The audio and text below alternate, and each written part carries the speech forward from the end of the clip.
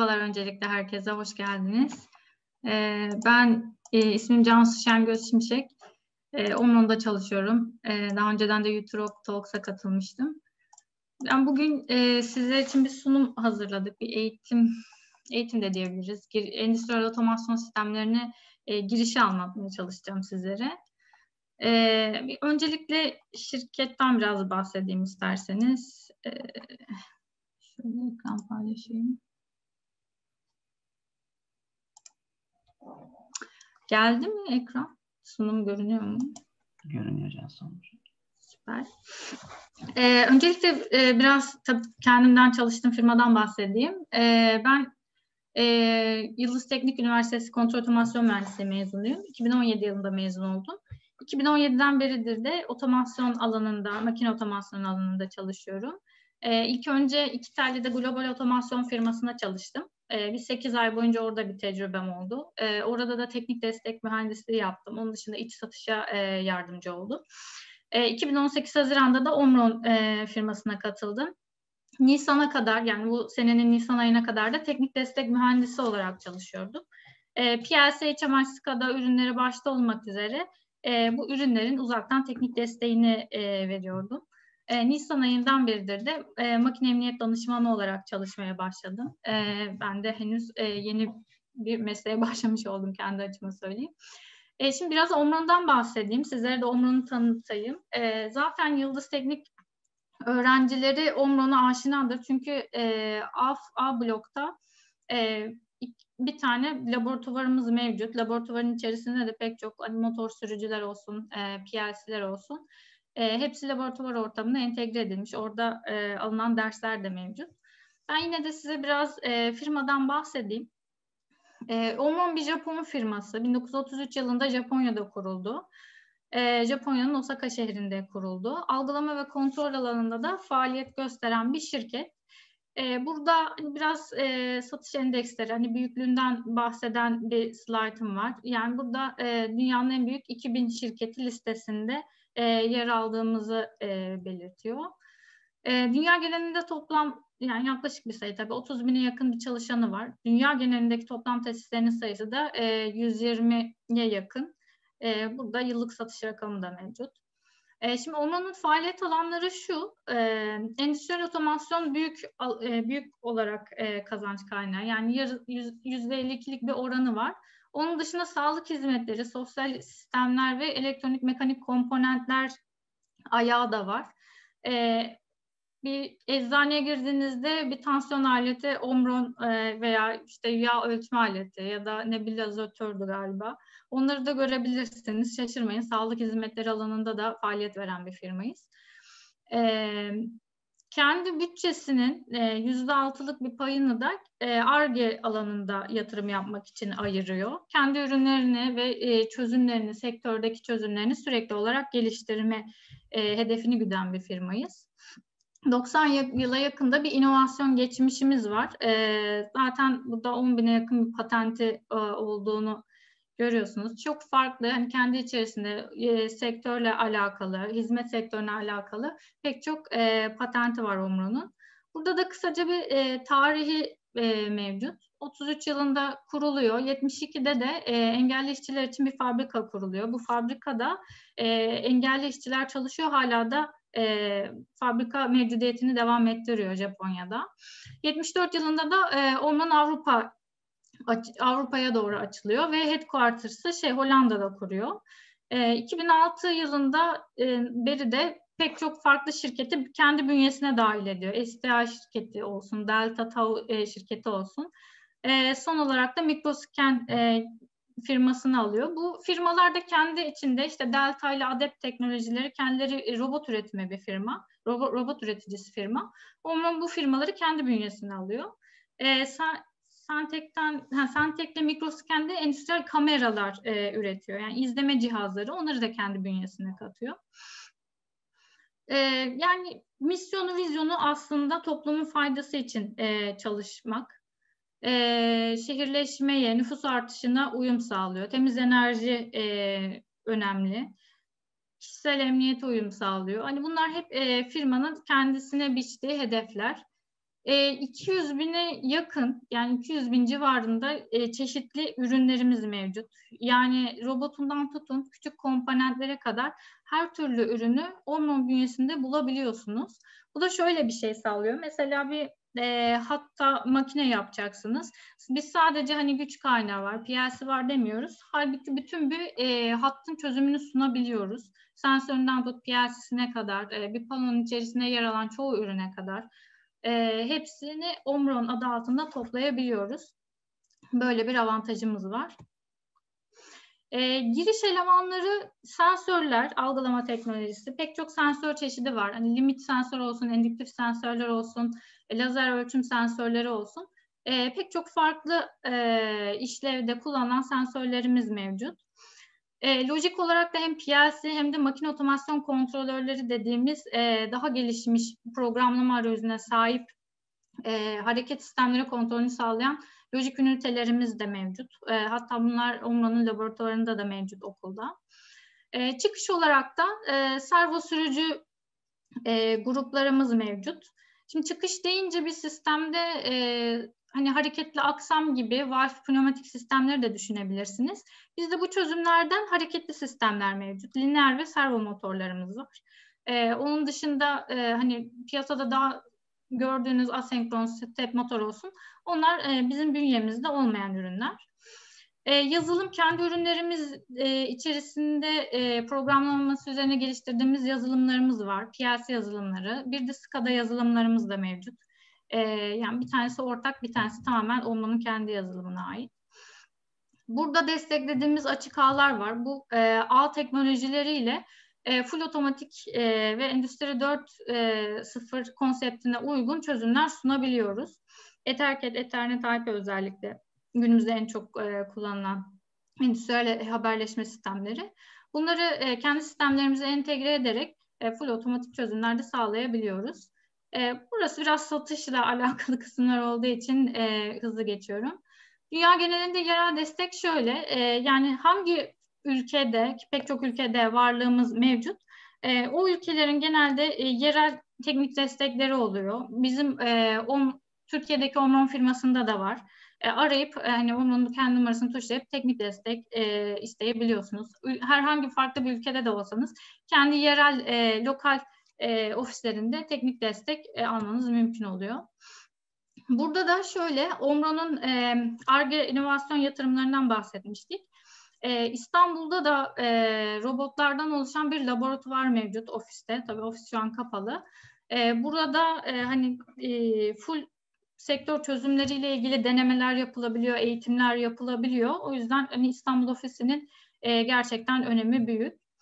E, Mayomron.com diye bir portalımız var. Burada çeşitli makaleleri görebiliyorsunuz. E, yani atıyorum şu komut nasıl kullanılır, bu haberleşmeyi nasıl yapabilirim tarzında. Çeşitli bazı makaleler mevcut. Onun dışında e, hani soru da sorabiliyorsunuz. Sadece bizim değil, e, hani yurt dışından bazı e, uzman arkadaşlar da cevaplayabiliyor. Hani yani bir sorunuz olduğunda genelde çözüm bulunmaya çalışılıyor, çözülüyor da.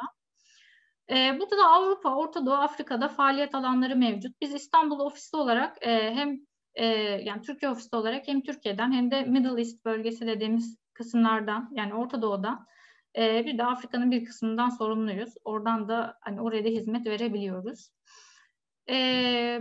Burada yine diğer ülkelerdeki, kıtalardaki mevcudiyetinden bahsettik. E, burası biraz daha dediğim gibi şey sektörle ilgili, satışla ilgili olduğu için geçiyorum. E, şimdi diğer slaytı paylaşayım.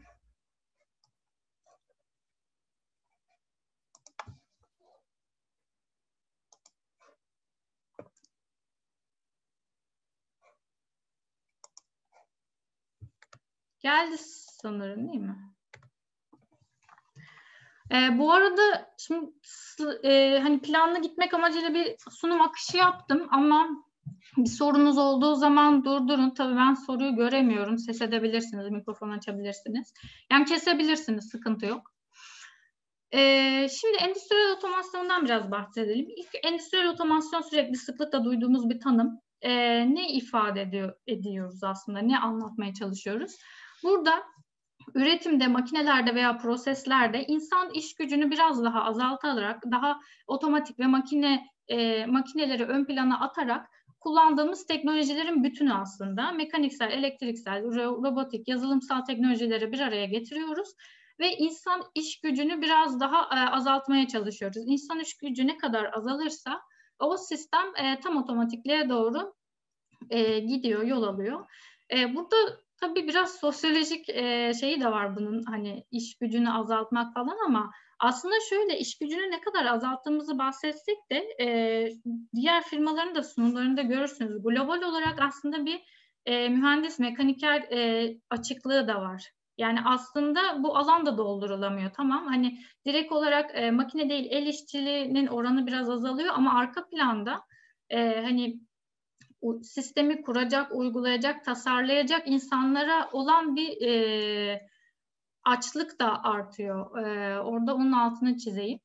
Burada biraz örnekleştirmek için sol tarafta mesela manuel olarak e, çalışma örneğini görüyorsunuz. Orada direkt e, insan iş gücü var. Sol sağ tarafta ise bir araba üretiminde e, sanırım gövde hattı o. Gövdelerin montele, montelenmesinde direkt olarak e, robotların kullanıldığını görüyorsunuz. Bu mesela tam otomatik bir hat oluyor. E, bunu da duy, du, duydunuz. Yani e, açıp bakabiliyorsunuz da ama yine de bir tarihi gelişimine değinmeden edemedim açıkçası. E, şimdi endüstriyel otomasyonu şu anda dört fazla inceliyorlar. İlk sanayi devrimi. E, zaten 18. yüzyılın başlarında başlıyor ve özellikle buharlı makinenin icat edilmesiyle James Watt sayesinde e, sanayi aslında ilk adımlar atılmış oluyor. E, buharlı makinelerin icadıyla birlikte bunu üretime entegre ettikleri zaman e, bu defa iş gücü yani normal bir insanın e, günde bir tane üreteceği şey aslında 500 tane üretime kadar çıkıyor. 100-200. Hani üretim miktarı artıyor. Buna da yönelten şu e, biliyorsunuz popülasyon artmaya başlıyor. Hani e, mallar yetersiz kalıyor. Yani üretim yapılan mallar yetersiz kalıyor. Bu yüzden de sanayi e, gelişmeye başlıyor. İkinci sanayi devrimi dedikleri araya çok az bir araya aslında. Yani 1800'lerin sonundan 1900'lerin başına kadar olan bir e, alan. Burada da içten yanmalı motorlar bulunuyor. E, bunlar entegre edilmeye başlanıyor. Ve demir e, yolları gelişmesiyle, çünkü sanayi devriminde şimdi makineleşme başlayınca, e, bu arada Avrupa'da başlıyor ama yayılıyor tabii ki bu dünyaya. Şimdi demir yolları e, birden gelişmeye başlayınca ham madde tedariği de artıyor ve bu defa bütün dünyada bir e, ağ kurulmuş oluyor. Ondan sonra petrol ve elektrifikasyonun kullanımı entegre ediliyor. Elektrifikasyondan kasıt şu, elektrikli sistemlerin, elektriksel sistemlerin üretim hatlarına monte edilmesi aslında.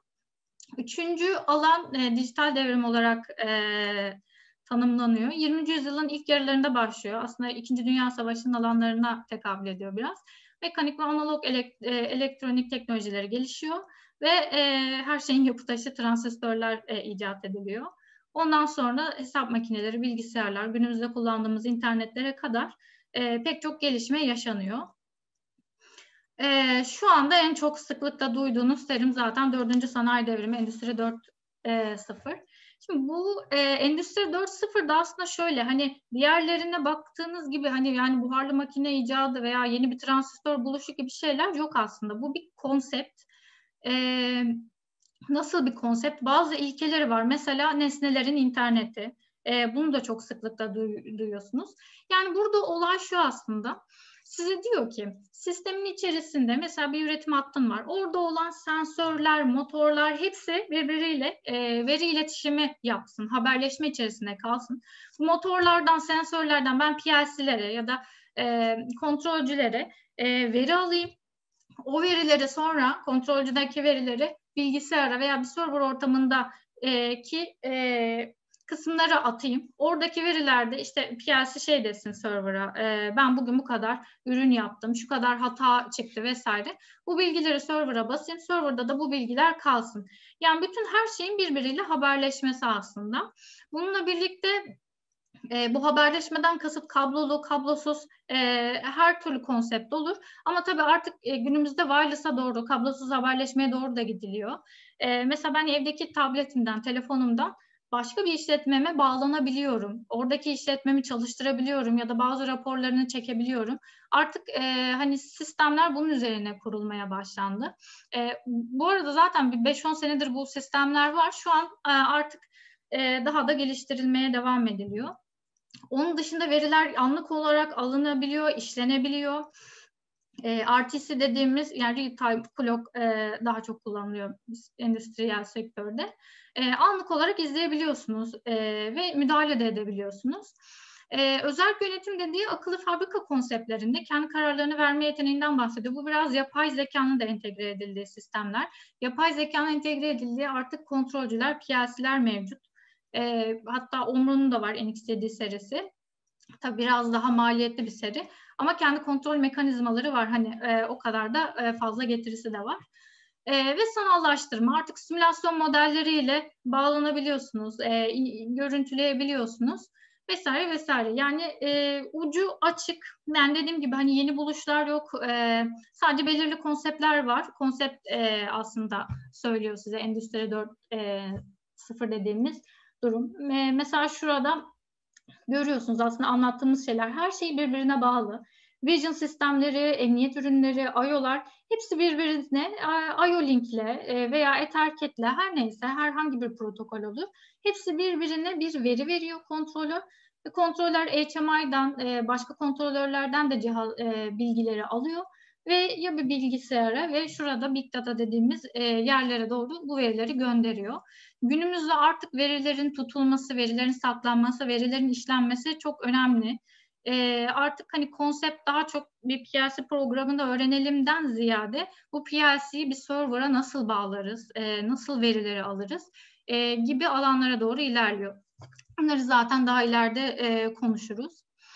Şu an neredeyiz? E, şu an Endüstri 4.0'ın içerisindeyiz. E, yani 5.0 çıkacak falan diyorlar ama bilmiyorum. Benim bildiğim kadarıyla 4.0'dayız. E, Veriler toplanıyor, e, sanal ortamlardan depolanıyor, serverlarda tutuluyor, uzaktan erişebiliyoruz dediğim gibi ve insansız fabrika örneklerinin hayata geçirilmeye çalışıldığı bir dönemdeyiz. Sanıyorum Çin'de ve Almanya'da e, insansız fabrika örneği var. E, buraya koymamışım ama bakmanızı öneririm konsepti. Yani tabii ki e, onlar her şeyi içerisine yazmıyor ama en azından nasıl çalışıyor yani gerçekten insansız mı bir e, görmüş olursunuz. E, şimdi burada endüstriyel otomasyon deyince aklımıza ne gelmeli? Yani endüstriyel otomasyon tamam tam, tanımını yaptık. Nelerden oluşuyor? Sensörler var, algılayıcılar. Yani basınç ölçüyorsunuz, e, sıcaklık ölçüyorsunuz veya şöyle düşünün mesela bir konveyör hattında ıslak mendil e, kapların üzerine bir yapışkan yapıştırılır. Biz onu açarız, ıslak mendil öyle yaparız. O yapışkanın yapıştığını düşünün. Şimdi motor e, na, nasıl yapacak? Yani sürekli inçik inçik demiyorsunuz da mesela kutu geldi, sensör algılasın o zaman e, insin diyorsunuz. İşte onlar hep algılayıcılar, sensörler, ölçüm sensörleri, algılama sensörleri. E, hareketli aksamlar, motorlar, servo motorlar, asenkron motorlar. Burada sadece aklıma ilk gelen örnekleri yazdım. MI çeşit motor var. E, görüntü denetleme sistemleri bu da artık sıklıkla kullanılan e, cihazlar arasına girdi. Kamera sistemleri özellikle bu pandemi döneminin biraz etkisi oldu sanıyorum. Şu anda herkes kamera yani görüntü işleme sistemlerine yatırım yapıyor e, çoğu firma. E, bunlar ne peki? Yani algılıyorlar. Hani kamerayla izliyorlar ürünleri. Mesela e, barkodların barkod basılıyor. Orada barkod basılmış mı? Eksik bir şey var mı? Kamera onu anlık olarak e, algılıyor. Bir de şöyle düşünün hani konveyörler öyle yavaş gitmiyor. Hızlı gidiyor ve kamera e, belki hani saniyenin altında kesin saniyenin altında görüp işliyordur zaten de e, hani saniyenin altında görüp e, bu tamam basılmış e, diye karar verebiliyor e, artık düşünün teknolojiyi. Görüntü denetleme sistemleri de onu kapsıyor. E, programlanabilir lojik kontrolörler yani PLC'ler veya makine kontrolcüleri zaten otomasyonun en önemli parçalarından. Çünkü asıl yazdığımız senaryolar bunun içerisinde dönüyor. Ve çok fazla da PLC var, makine kontrolcüsü var. E, envai çeşit marka var. Özellikle uzak doğu piyasası bu konuda çok çeşitli. Belki e, tabii ki Avrupa'nın ürünlerini daha çok duymuşsunuzdur. Yani Siemens, Allen Bradley'i herkes bilir. Ama aslında Uzak Doğu'nun da pek çok fazla e, çeşidi var. Bu konuda gerçekten başarılılar. E, insan makine arayüzü yine bizim otomasyon sistemlerinde olmazsa olmaz. Dokunmatik bir panel var. Orada daha önceden tasarladığınız arayüz dönüyor. E, buton koyuyorsunuz, datalog koyuyorsunuz. E, bunlardan da bahsedeceğiz. E, bu şekilde kontrol edebiliyorsunuz. E, ve robotlar yine olmazsa olmazların içerisine girdi. E, robot teknolojisi de artık e, çok sıklıkla kullanılan e, öğeler arasında. E, bir de bunlar hepsi tabii ki de ayrı bileşenler ama hepsi birbiriyle haberleşiyorlar, haberleşmek zorundalar. E, yoksa bir e, makineden ya da bir otomasyon sisteminden bahsedemeyiz. E, şimdi Omron'un endüstriyel otomasyon çözümlerini biraz bahsedeyim. Hani Omron olarak ne sunuyoruz müşteriye? E, verimli pano mühendisliği. Yani pano mühendisliği çok belki alakanız olmayacak bir şey. İleride tabii inşallah kendi yerinize aç, açarsınız. E, şimdi pano dediğimiz kısım şu aslında. Elektrik yani bir makinenin elektrik aksamının e, tutulduğu kapalı kapı ardındaki pano yani. E, bunun içerisinde bütün bağlantılar, PLC'ler, e, motor sürücüler, e, sensörlerin bağlantısı, input I.O. E, I.O. kartlarına hepsi burada yapılıyor. Elektriksel bağlantıların hepsi e, burada yapılıyor. E, bunu da öyle görsel e, olarak canlanması için koydum. Pushing Plus dediğimiz şey şu. Normalde bu terminal yani bildiğiniz vidalı terminal. Burada direkt kabloyu şuraya yapıştırıyorsunuz. Çıkartırken de şuradan tornavidayla bastırıyorsunuz. Yani pushing plus, pushing plus çok şey duyuluyor. O yüzden hani nedir biraz şey aşina olun diye koydum. Yoksa çok olmazsa olmaz bir şey değil yani bilmeseniz de olur. Ee, yani teknoloji bu. Ee, emniyet ürünleri konusunda e, çözümümüz var. Emniyeti de şöyle bahsedeyim. E, aslında emniyet öyle iki dakikada bahsedilecek bir konu değil ama ben e, genel bir e, açıklayayım makinelerin e, emniyetli olması demek insan için hani risk, insan için risk barındıran e, hareketlerin e, kısımların engellenmesi demek. Bir e, pres hattını düşünün. Pres de şöyle bir şey. E, kocaman bir kalıp çıkarmak için e, bir sistemin aşağıya inip e, bir saca veya bir metal parçasına inip çıktığını düşünün. Oradan bir e, kalıp üretiyor size. Şimdi pres makineleri normalde etrafına e, kapalı bir e, yapı yapılıyor ama yapılmayanlar da var tabii. Siz o presin altına elinizi koyduğunuz zaman o pres hareketini kesmezse e, yani elinizi kaybedersiniz. İşte orada olay şu hareketin kesilmesi. insanın e, yani insanın hani parçalarının yani elinin, kolunun veya hani vücudunuzun girmemesi gereken bir yerde, hani adım atmamanız gereken bir yerde e, sizi algılaması ve algıladıktan sonra emniyetli bir şekilde o makinenin hareketinin durdurulması. E, emniyet ürünlerinin amacı budur. E, yani risk oluşturacak hareketi, e, motion'ı algılar ve kendisinin bağlı olduğu yine emniyet piyası veya emniyet röle ürünlerine bununla alakalı sinyal gönderir. O sinyali algılayan da hareket aksamına sinyal gönderir. Enerjiyi kes der. Ya enerjiyi kes der veya hani motoru e, ivmeli bir biçimde durdurması için komut gönderir. E, yaptığı olay bu. Yani insanın e, çünkü makineyle iç içe çalıştığı durumlar var maalesef ne kadar e, otomatik sistemlerden bahsetsek de ve e, yani robotla hani arkadaş gibi çalıştığınız durumlar da oluyor. Öyle bir durumda kesinlikle hani emniyet çözümlerine e, başvurması gerekiyor kişinin yoksa çok fazla iş kazası e, olabiliyor maalesef duyduğumuz veya duymadığımız e, arka planda çok fazla kaza olabiliyor. E, peki emniyet ürünleri ne? Neye benziyor? En aşina olduğunuz budur. Acil durdurma butonu. E, ışık bariyeri. iki tane karşılıklı aralarında lazer atan e, teçhizat düşünün. Oraya elinizi veya böyle parmak algılaması da var. Parmağınızı soktuğunuz zaman direkt böyle kırmızı ışıkları yanar. Ben burada bir şey algılıyorum der. Ve bağlı olduğu cihaza e, komut gönderiyor. Bunlarda switchler, emniyet switchleri de var. Ee, ya bu emniyetin bir sürü ürünü var. Ben sadece e, hani hem de yerim kısıtlı olduğu için bu kadarını koydum. Mesela bir kapı düşünün. Kapı kolunu açtığınızda bunlar da iki tane temaslı olduğunu düşünün. Bir tane parçadan da oluşanı var. Ve kapıyı açtığınızda çat bu algılıyor. Ben diyor açıldım. E, hareketi kesinlikle başlatma gibi. Omro'nun da e, emniyet çözümleri gerçekten e, güzel, iyi. Servis e, çözümümüz de var. E, otomasyon çözümü genel olarak e, dediğim gibi hani hatta tam entegreli sistemleri verebiliyoruz. E, kontrolcüsünden e, safety'sine, iOS'una, e, rölesine kadar her şeyi sağlayabiliyoruz. Ve hızlı bağlantılarımızla Ethercat e, teknolojisi var Beckhoff'un e, oluşturduğu. E, hatta birlikte geliştiriyoruz yani onun da geliştiriyor diye biliyorum. E, o teknolojiyi de kendimize adapte ettik. E, paketleme çözümleri. Bunu niye koydum? Özellikle aranızda hani 3. 4. sınıf veya mezun arkadaşlar varsa e, şimdi otomasyonda pek çok sektör yani alt sektörler var. Yani kozmetik, gıda olsun, paketleme olsun. Biz genelde paketleme üzerine, paketleme, ambalaj, dolum makineleri bunun üzerine e, çözüm yapıyoruz. Yani tabii ki bizim analog okuyan kartlarımız var, dijital okuyan kartlarımız var. Sizi proses hattına da e, koyabilirsiniz. Ama genelde e, aslında paketleme çözümü üzerine yapılmış ürünler. Paketleme e, paketleme deyince aklınıza şu gelsin. E, ıslak mendilden çıktık. E, bütün gıda da hani hep paketlenebilir gıda kullanıyoruz zaten çoğunlukla biliyorsunuz. Şu arkada e, şu domateslerin e, bulunduğu plastik e, şeyi görüyorsunuz, kabı görüyorsunuz. Onların üretimi mesela bu plastik kapların üretimi veya e, az önce dediğim gibi ıslak mendil üretimi, kozmetikte dolum e, dolum makinelerini do, düşünün, şişe makinelerini. Bu gibi alanlarda bizim ürünlerimiz e, genelde kullanılıyor. Özellikle hedef kitlemiz orası. Onun dışında e, yaygın olduğumuz endüstriler bu şekilde. E, otomotiv endüstrisinde de varız. E, şimdi çok firma adı vermedim. Ama bazı özellikle hani büyük otomotiv sektörlerinde varız. Gemi üretim endüstrisinde de kullanılıyoruz. E, plastik plastik enjeksiyon e, makinelerinde özellikle e, bizi tercih ediyorlar. Bir de fotovoltaik endüstride de kullanıyoruz.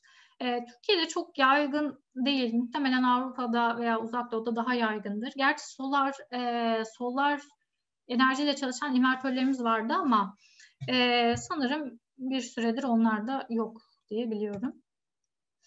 E, yiyecek içecek üretimi dedim. Yani paketleme ayrı. Evet aslında paketleme yapınca yiyecek içecek de kapsıyor ama biraz ayrı şeyler aslında. Üretim olarak düşünün. Direkt hatta gelen e, nasıl diyeyim çikolatanın üretimini düşünün. Bisküvinin üretimini düşünün. Hani paketlemeden önce aslında üretim kısmında da e, üretim aşamasında da biz varız. E, genelde o alanda da ilk tercih edilen firmalardan biriyiz. E, şimdi Buraya kadar endüstri otomasyon çözümlerinden bahsettim. Bu arada sorusu olan var mı? Ben hiç bakmıyorum. Ses edebilirsiniz. Yok galiba. Devam ediyorum. Ee, şimdi biraz makine otomasyondan bahsedelim. Ee, şimdi makine nedir? Ee, bir enerjiyi başka bir enerjiye e, dönüştürüyor ve e, bir amaç doğrultusunda belli bir işi yapıyor aslında. E, şimdi makine deyince aklımıza yani e, gördüğünüz gibi ev robotları da bir aslında makine. Bu da ev makinesi yani küçük makineler. E, bu diğer e, şu am, am, ambalaj veya paketleme olması lazım. Paketleme makinesi de bir makine. Şurada e, bir tane e, matkap tezgahı var. Bu da bir makine. Biz neredeyiz genelde? Biz bu aşamadayız. Ha, bunların da üretildiği aşamadayız ama bu değiliz. Yani bunun içerisindekiler farklı. E, bizim e, makine otomasyon dediğimizde anlayacağımız kısım burası oluyor. Çünkü bunlar endüstride kullanılan makineler. E, şimdi makine otomasyonu deyince işin içerisine hareket de geliyor. E, otomasyon da pek çok çeşidi var biliyorsunuz. E, çünkü yani yazılımsal elektriksel çözümlerin tamamı demiştik.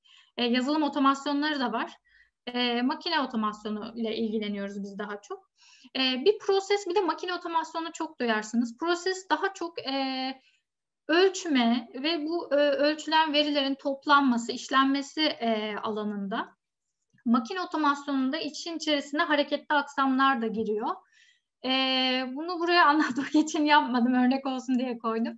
Şöyle, makine hareketinde işin içerisinde yani PLC ile e, makine kontrolcüsüyle yazılım yaparken e, hareketle ilgili denklemleri de çıkarmanız gerekiyor aslında. Bu tabii e, yani profesyonel olarak şimdi e, gidin sahaya. Herkes böyle deli gibi ha ne kadar hareket edecek, ne kadar açıyla dönecek. E, bunu çoğu insan hesaplamıyor ama aslında e, gerçekten biraz mükemmel bir yazılım çıkarmak için de e, bunu hesaplıyorlar. En azından bizim kendi uygulama ekibimiz bir yazılım geliştirirken e, cidden niş e, hesaplamalar yapıyor.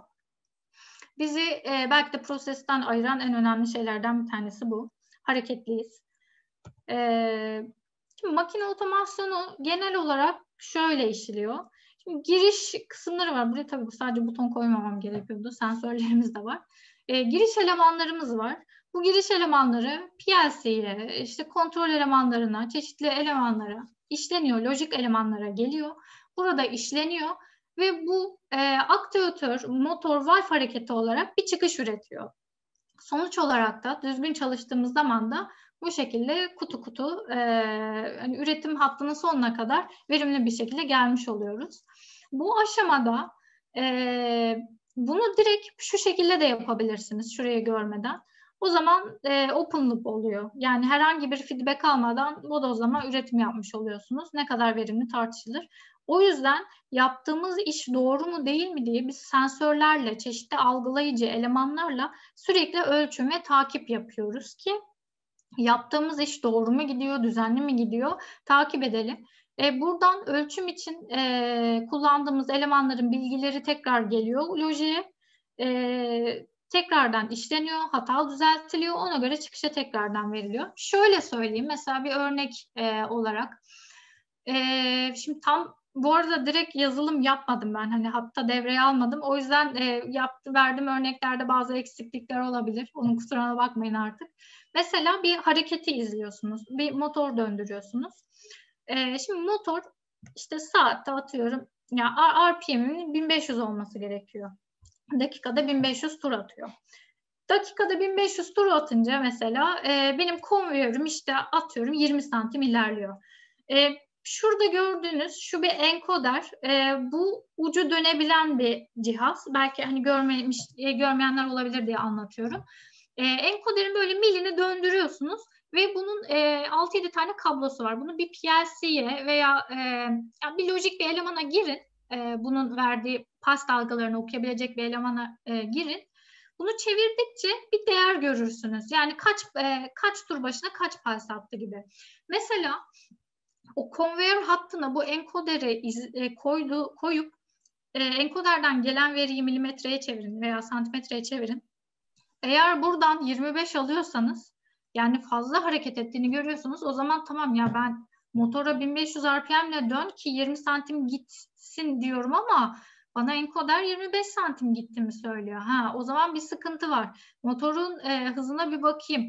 Hani bu tarz e, ne yapmış oldunuz? Arada bir fark var. Onu görmüş oldunuz aslında. Yani feedback dediğimiz kısım e, fiziksel olarak bu anlama geliyor. Veya bir e, sıcaklık e, kontrolü e, düşünelim. 25 derecede mesela sabitlemek istiyorsunuz. Sürekli bir şey sensör var arka planda. Size e, bilgi veriyor. 30'a çıktın, 32'ye çıktın, 25'e düşmen lazım. Oradan gelen bilgiyi e, değerlendiriyor PLC. PLC'nin içerisinde de PID e, kontrolcüsü var. PID komutlarıyla kullanabiliyorsunuz. E, ona e, o aldığınız veriyi oraya soktuğunuz zaman PID işliyor. Ne kadar çıkış vermem gerekiyor ki ortamı ne kadar ısıtayım diye. Ona göre bir e, sıcaklık kontrolü yapmış oluyorsunuz. Yani e, aslında yaptığımız hani otomasyon sisteminde yaptığımız kontroller de bu şekilde oluyor. Çok basic örnek verdim. Daha hani profesyonel örnekleri de vardır. İşin içine girdikçe zaten göreceksiniz. E, şimdi e, öncelikle şunu söyleyeyim. E, bunu çok profesyonel bir biçimde anlatmayacağım. E, kumanda devrelerini ben çünkü çok dersini alamadım. Ama e, bir otomasyon sisteminde aslında olmazsa olmaz dediğimiz kısım kumanda ve güç devreleridir. E, peki nedir bu? Yani normal bir elektrik e, çizimi vardır, elektrik şeması vardır bu e, makinelerin. İşte PLC'nin girişini e, çizersiniz. İşte faza bağlanmış, nötre bağlanmış. E, işte oradan inputlar, outputlar şuraya dağılıyor falan. Ondan ayrı olarak bir de kumanda güç devresi çizimi var. Burada şimdi amaç nedir? Şimdi makinenin sağlıklı ve verimli bir şekilde çalışmasını istiyoruz biz. E, arızanın olmamasını istiyoruz. E, istediğimiz senaryoda çalışmasını e, istiyoruz. E, bu kumanda devresi de sistemin çalışma durumu ile ilgili e, istenen koşulları sağladığımız e, yapılar oluyor aslında. Kullanılan temel elemanlar nedir e, kumanda devresinde? Şimdi butonlar, kontaktörler. Butonlar e, en çok e, karşınıza çıkacak olanları söylüyorum. İşlevi ne? Ya çalıştırırsın ya da durdurursun. Bir start butonu vardır. İşte bir de stop butonu vardır. E, ani temaslı buton vardır. Yani aldığınız zaman hemen e, şey yapar, algılar. E, bir de kalıcı tip buton vardır. Basarsınız öyle kalır. Yani on konumunda bir sinyalini sürekli iletmeye çalışır. E, çeşitli sınıflandırmalarla inceleniyor. E, kontaklarına göre e, iki çeşit buton var. Açık kontaklı ve kapalı kontakları. Siz basmadığınız zaman o e, metaller birbirine değmez. Bastığınız zaman birleşir ve elektrik akımı geçmeye başlar. Normalde kapalı kontakta özellikle acil durdurma butonları veya normal stop e, durdurma butonları için kullanılan sistemlerdir. Siz basmadığınız zaman akış devam eder. Bastığınız zaman enerjiyi keser. E, o yüzden iki ana e, buton var aslında kontağına göre.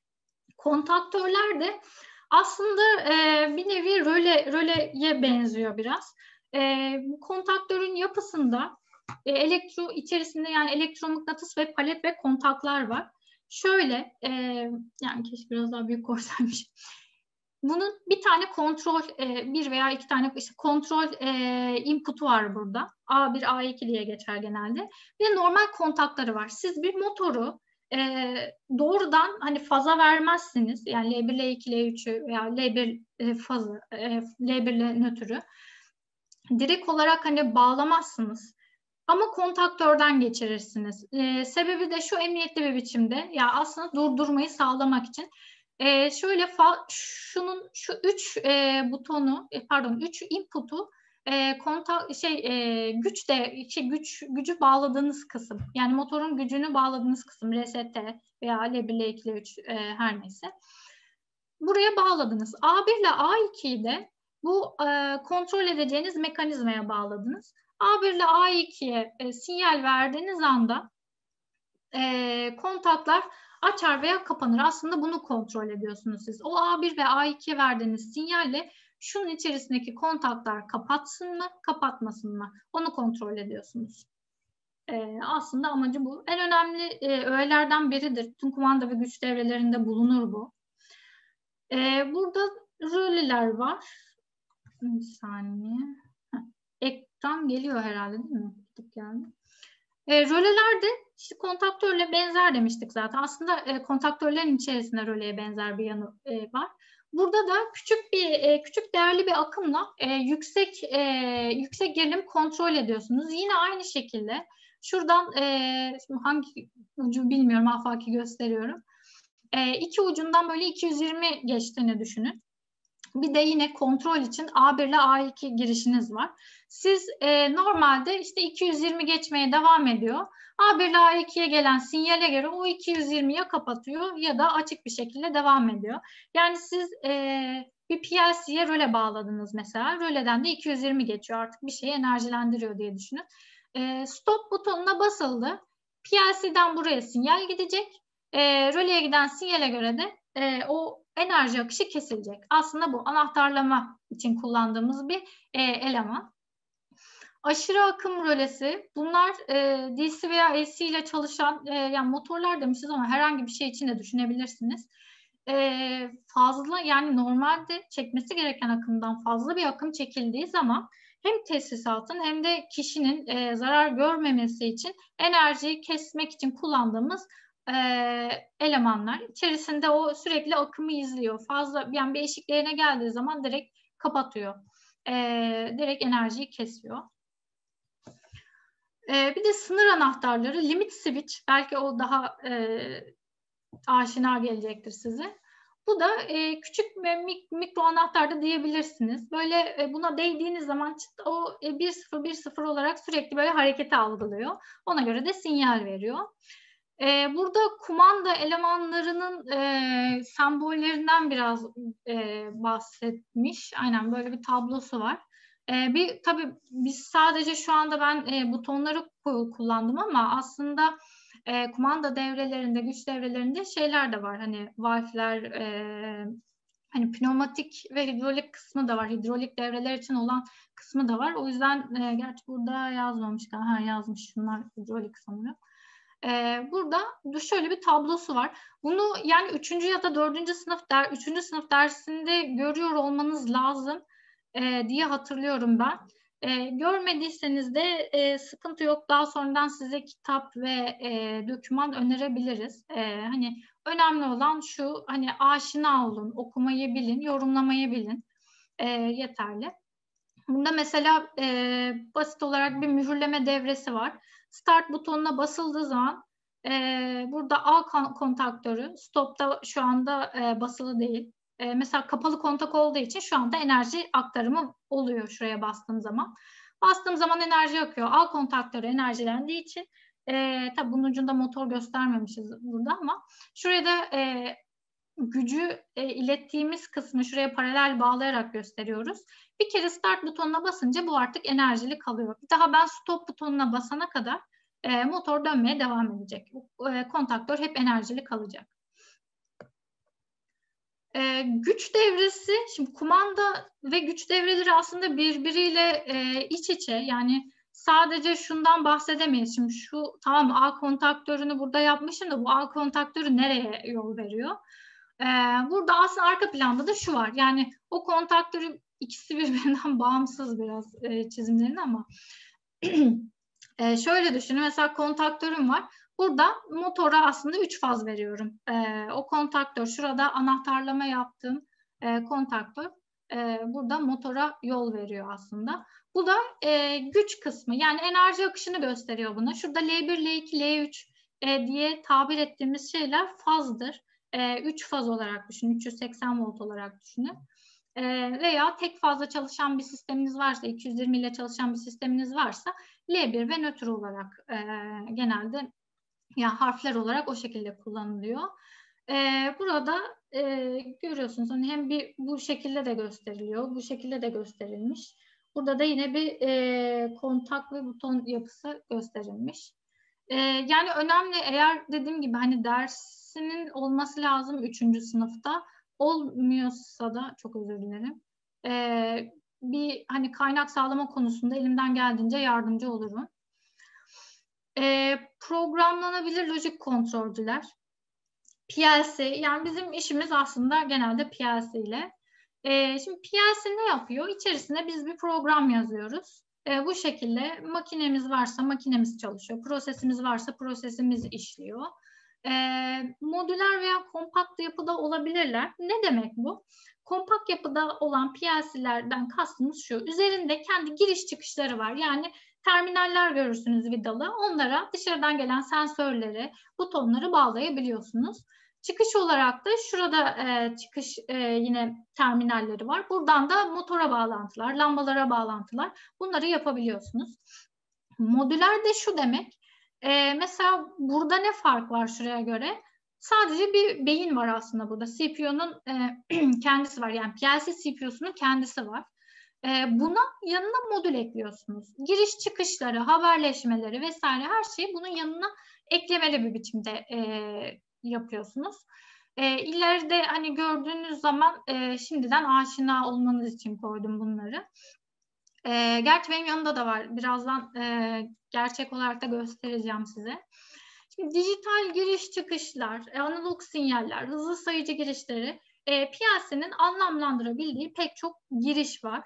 E, şuradan elinize ilk bir PLC aldığınız zaman modüler olsun, e, kompakt yapıda bir PLC olsun dışarıdan e, alacağınız şeyi nasıl, alacağınız sinyali nasıl bağlayacağınızı önce bir açıp bakmanız lazım. Bunun için e, hangi markayla çalışırsanız çalışın donanımsal hardware manuellerini kullanabilirsiniz. E, orada işte input e, aygıtlarını nasıl bağlayacağınızı yazar. DC'de de normal e, doğru akımla çalışan şeyler. Yani 24 volt ile çalışan işte sensörlerimiz yani 24 volt veren sinyallerimizi bağladığınızı düşünün. O onu kastediyor. Şurada ben e, tabii kendi piyaselerimizden bir örnek aldım. Input demiş, com demiş. Bir komucu vardır, ortak bir uç vardır. E, buraya eksi verirsen e, koma, şurada devre elemanını tanırsınız zaten. Eksi verirsen senin girişinin artı olması lazım. Şimdi bu e, PLC'lerin üzerinde com girişi yazar. Orası e, common, e, ka, e, common bir uç olarak düşün. Yani ortak bir uç olarak düşün. Siz o uca artı veriyorsanız e, diğer girişleriniz eksi oluyor. Eksi veriyorsanız da artı giriş oluyor. İçerisinde bunu sağlayan bir yapı var. Devresel yapı var. E, o yüzden hani ilk yapacağınız şey e, böyle bağlantı yapacağınız zaman açıp bir bakmak olsun. Hani neyi nasıl bağlayacağını. Ee, burada da mesela e, NPM ve PNP olarak da bir söylüyoruz biz bunu. Mesela PNP e, çıkış veren e, bir sensörüm var deyince ben anlıyorum ki PNP dediğim e, sensör bana artı 24 volt veriyor. NPN dediğim e, sensörde bana bir 0 volt, eksi bir gerilim veriyor. E, bu NPN ve PNP'nin içerisinde de transistörler var aslında. Hatırlarsanız o analog elektronik dersinde olması lazım. E, orada transistörler e, vardı. Onların akış yönüyle alakalı olarak NPN veya PNP olması değişiyor. E, yani bu şekilde.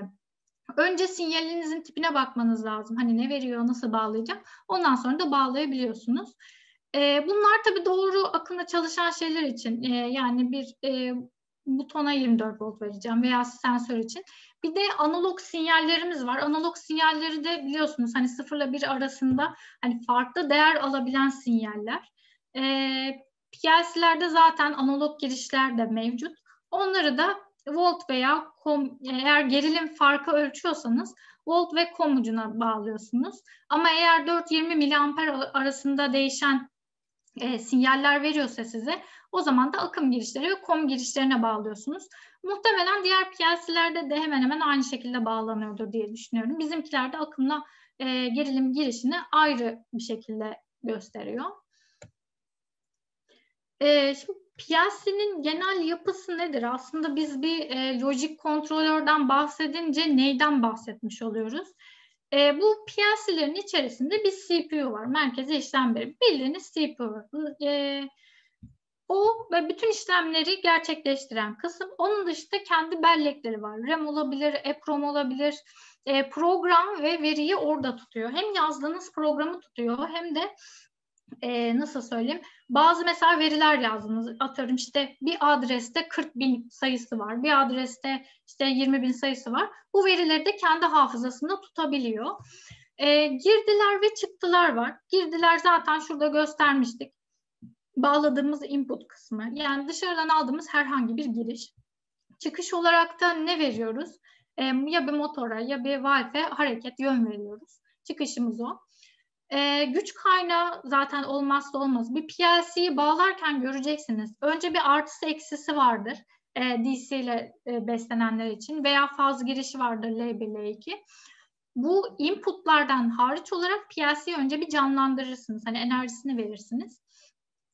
E, haberleşme portları vardır. seri port veya Ethernet veya USB de e, bulunabilir. Bu seri portlar e, yani üzerindeki haberleşme portları ne işe yarıyor? Hem bizim bilgisayarla veya eskiden konsollarla programlanıyordu PLC'ler. Onlarla e, aradaki bağlantıyı sağlıyor. Ayrıca hani diğer aksamlarla da haberleşmeyi sağlıyor. İşte e, dokunmatik ekran olsun, servo motor olsun ya da hani SCADA sistemi olsun bir şey olsun. E, hani bir PLC'de e, hangi markaya bakarsanız bakın genel olarak bu yapılar vardır. Şurası zaten olmazsa olmazı. E, şimdi PLC yazılımlarında şöyle her markanın genelde e, kendisinin geliştirdiği bir o yazılımı ortamı oluyor. E, bazıları ortak yapıda da e, programlanabiliyor bildiğim kadarıyla. ben sadece genelde Omron kullandım. Bir de Delta PLC'ye biraz bakmıştım. E, hani hepsi kendi ara üzerine oluşturmuş. E, şimdi bu yazılım dilleri e, IEC'nin 61131 standartında belirttiği bazı yapılar var. E, zaten şu 61131 direkt yani programlamayla alakalı bir standart. Bunun üçüncü maddesinde de nasıl yapabilirsin? Onunla alakalı sana standart e, şey e, yapıları belirtiyor. Genelde en çok kullandığımız bizim ladder, e, merdivenleme yani şu şekilde. E, CFC var, e, sequential. O, o şunun e, örneği. Hani bir akış diyagramına benziyor biraz aslında. E, hiç tecrübe etmedim. E, function block diyagram bu e, kullanıcı kendi e, fonksiyon bloklarını oluşturuyor. Kendi giriş ve çıkışlarınızı yani içerisinde de girişlerinizi alıyorsunuz, işliyorsunuz ve bir çıkış üretiyorsunuz. Direkt kendi fonksiyonunuzu yazıyorsunuz e, structure text e, yapısı var SD dili. O da şu şekilde. E, bir de instruction list var. E, yani böyle satır satır belirtiliyor. Bunu hiç kullanmadım. Çok yaygın değil diye biliyorum. Umarım öyledir. E, genelde hani en çok e, ST, ladder, e, bir de fon, e, yani fonksiyon blokları da oldukça yaygın kullanılıyor. Bu arada bizim e, yazılım, gerçi dillerimizden bahsedeceğim ama e, CP yani başı C ile başlayan PLC'ler için CP, CC serisi PLC'ler için CX Programmer arayüzünü kullanıyoruz. NJ, NX e, o gördüğünüz siyah kontrolcüler için de Sysmax Studio arayüzünü kullanıyoruz. Yani iki tane farklı programımız var. E, PLC'deki data türlerinin tablosu bu. Şimdi şöyle bu standart dedim ya e, yazılım standartı diye. Aslında bu data türleri de o standarda göre. Ben tabii bunları bizim dokümandan aldım. Hani bilerek e, biraz görsellik olsun diye. Ama bu e, veri türlerini siz diğer e, PLC'lerde de zaten göreceksiniz. E, neler var? Aslında şöyle programlamaya aşinaysanız e, bunlara da çok yabancı kalmayacaksınız. Bool var. Burada data size 16 bit demiş. Normalde bool yani bir, bir bitlik bir e, veri. Yani true ya da false olur. 0 veya 1 olur. 24 volt var ya da yok olur. Öyle düşünün. Byte'lar zaten bool'lardan oluşuyor. 8 bit 1 byte yapıyor.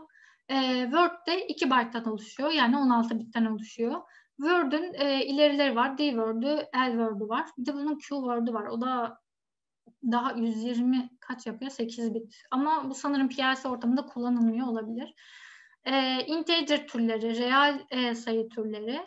E, genelde PLC'lerde time ve date ile alakalı da veri türleri oluyor. Bu tabii her bir PLC'de e, tuttuğu bellek değişebiliyor. Mesela bizim NC NX'in dokümanından aldım ben bunu data size'ı time değişkeni için 64 bit e, kadar sana bir şey veriyor. Ya bu şu demek değil yani bir saniye de tanımlayabilirsin. Bir yılla tekabül eden saniyeyi de belirtebilirsin demek. Hani o kadar e, senin yerin var. E, bir de kullanıcının tanımladığı bazı veri türleri var. Nedir bunlar? Enumeratörler. Bunu da programlamadan aslında e, bilebilirsiniz. E, dizi oluşturabiliyoruz structure e, yapısında bir veri, pek çok veri tipini barındıran veri. Ne demek? Şöyle anlatayım.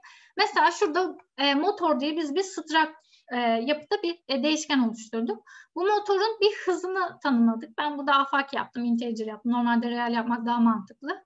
E, motor dönüyor mu, dönmüyor mu? Bunun tespiti için bir tane bool değişkeni ekledim. Yani bir bitlik. Çünkü dönüyor mu, dönmüyor mu? Yani bitle ifade edilir bu. Ee, bir de motorun konumunu e, tutan bir alt değişken oluşturdum reel. Ee, burada aslında motor e, dediğim gibi hani bir strak yapısında bir şey. Motorun altında da pek çok veri tipini barındıran e, barındırıyor mu? Evet barındırıyor. İşte strak dediğimiz olay bu. bunu nasıl kullanıyoruz programlama arayüzünde? bir tane bir değişken oluşturmuştum. Onu da motor diye tanımlamıştım. Onu almamışım. E, bu conveyor motor nokta e, şey conveyor diye bir değişken oluşturmuşum. Conveyor nokta motor dönüyor dediğim zaman şu yapıyı kullanarak aslında conveyor değişkenim içindeki bir bite ulaşmış oluyorum. Ya da burada conveyor motor hızı 60'a bölmüşüm. E, yine conveyor değişkenim var. Bunun altındaki işte e, integer olarak tanımladığım bir veri türünü kullanmış oldum. Bunu da e, başka bir e, değişkene kopyalamış oldum. Yani sonuç olarak. Bunu bu şekilde kullanıyorsunuz.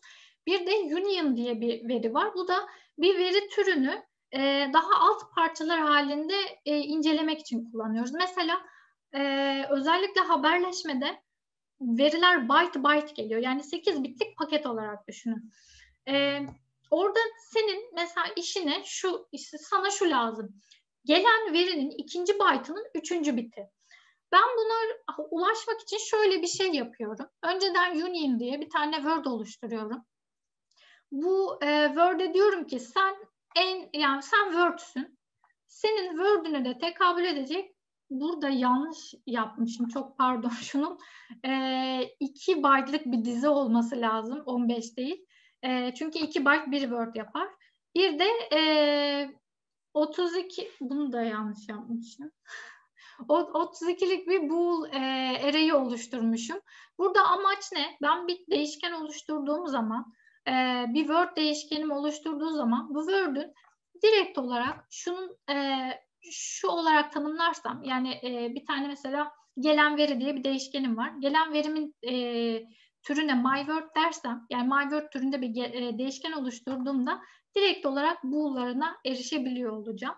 E, yani tek tek çünkü bir byte'ı hani nasıl parçalayacaksınız? Bir şekilde bool'una erişmeniz lazım. Ya hexe olarak e, alacaksınız, o veriyi anlamlandıracaksınız ya da bu şekilde veriyi parçalayarak erişmiş olacaksınız. E, uygulama yaparız. E, çünkü böyle olunca hani çok anlaşılmıyor. Onun farkındayım. Ama hani programlamaya girdiğiniz zaman e, nasıl veri türleri var, nasıl veri türlerini kullanabilirsiniz? Ona biraz anlaşılır olması için, hani kulak aşinalığınız olması için göstermek istedim.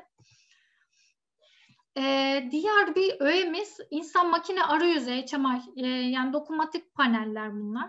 Ee, bu bir insanın makine veya e, bir sistemle e, ara buluculuğunu yapıyor aslında. Biz oradan bir HMI'dan önce tabii HMI dizayn ediyoruz e, grafiklerini, sayfalar oluşturuyoruz işte e, veri grafikleri, butonlar ve bu butonlarla e, hareketleri sağlayabiliyoruz, verileri izleyebiliyoruz. E, HMI'ın e, işlevi bu aslında. Çünkü bir sistem düşünün. PLC var, motorlar var. E, durdurmak istiyorsunuz. Tamam yani buton da var. E, hızını artırmak istiyorsunuz mesela. Nasıl artıracaksınız?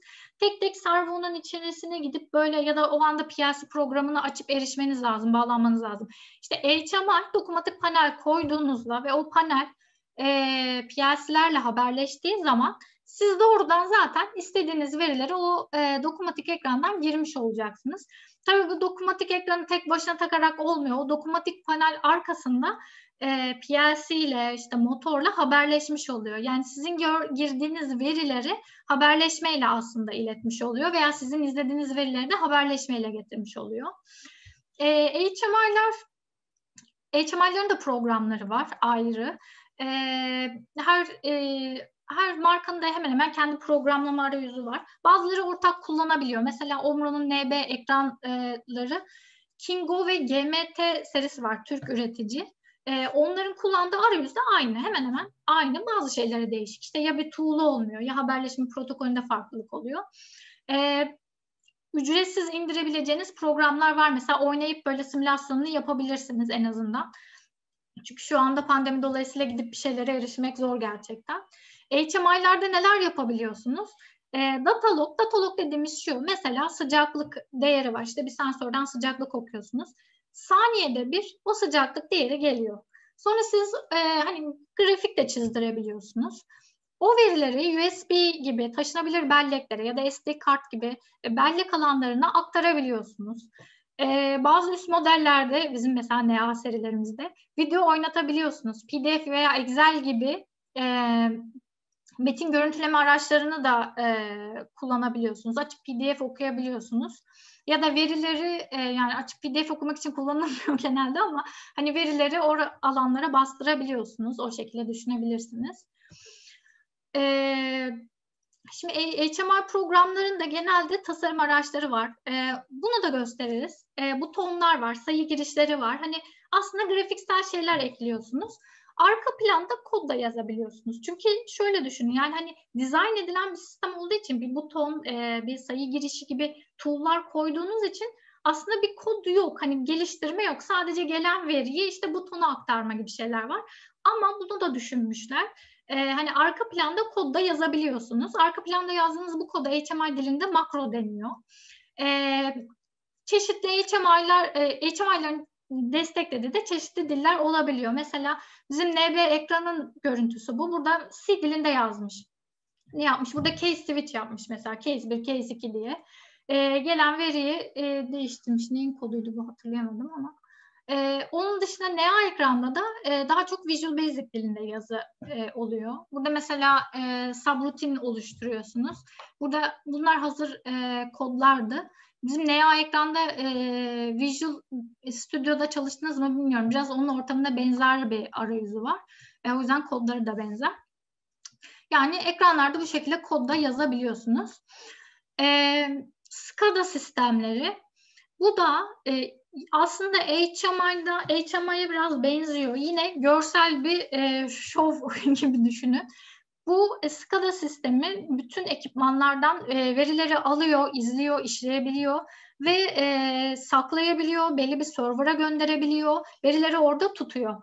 E, SCADA programları da, şimdi HMI fiziksel bir cihaz ya, e, neyse yanımda değilmiş, HMI fiziksel bir cihaz, e, orada programı dönüyor. SCADA da bilgisayar ortamında, e, normal siz laptopunuzda da SCADA çalıştırabilirsiniz, onu koyarsınız e, makinenin yanına çalışır. Oradan da izleyebilirsiniz.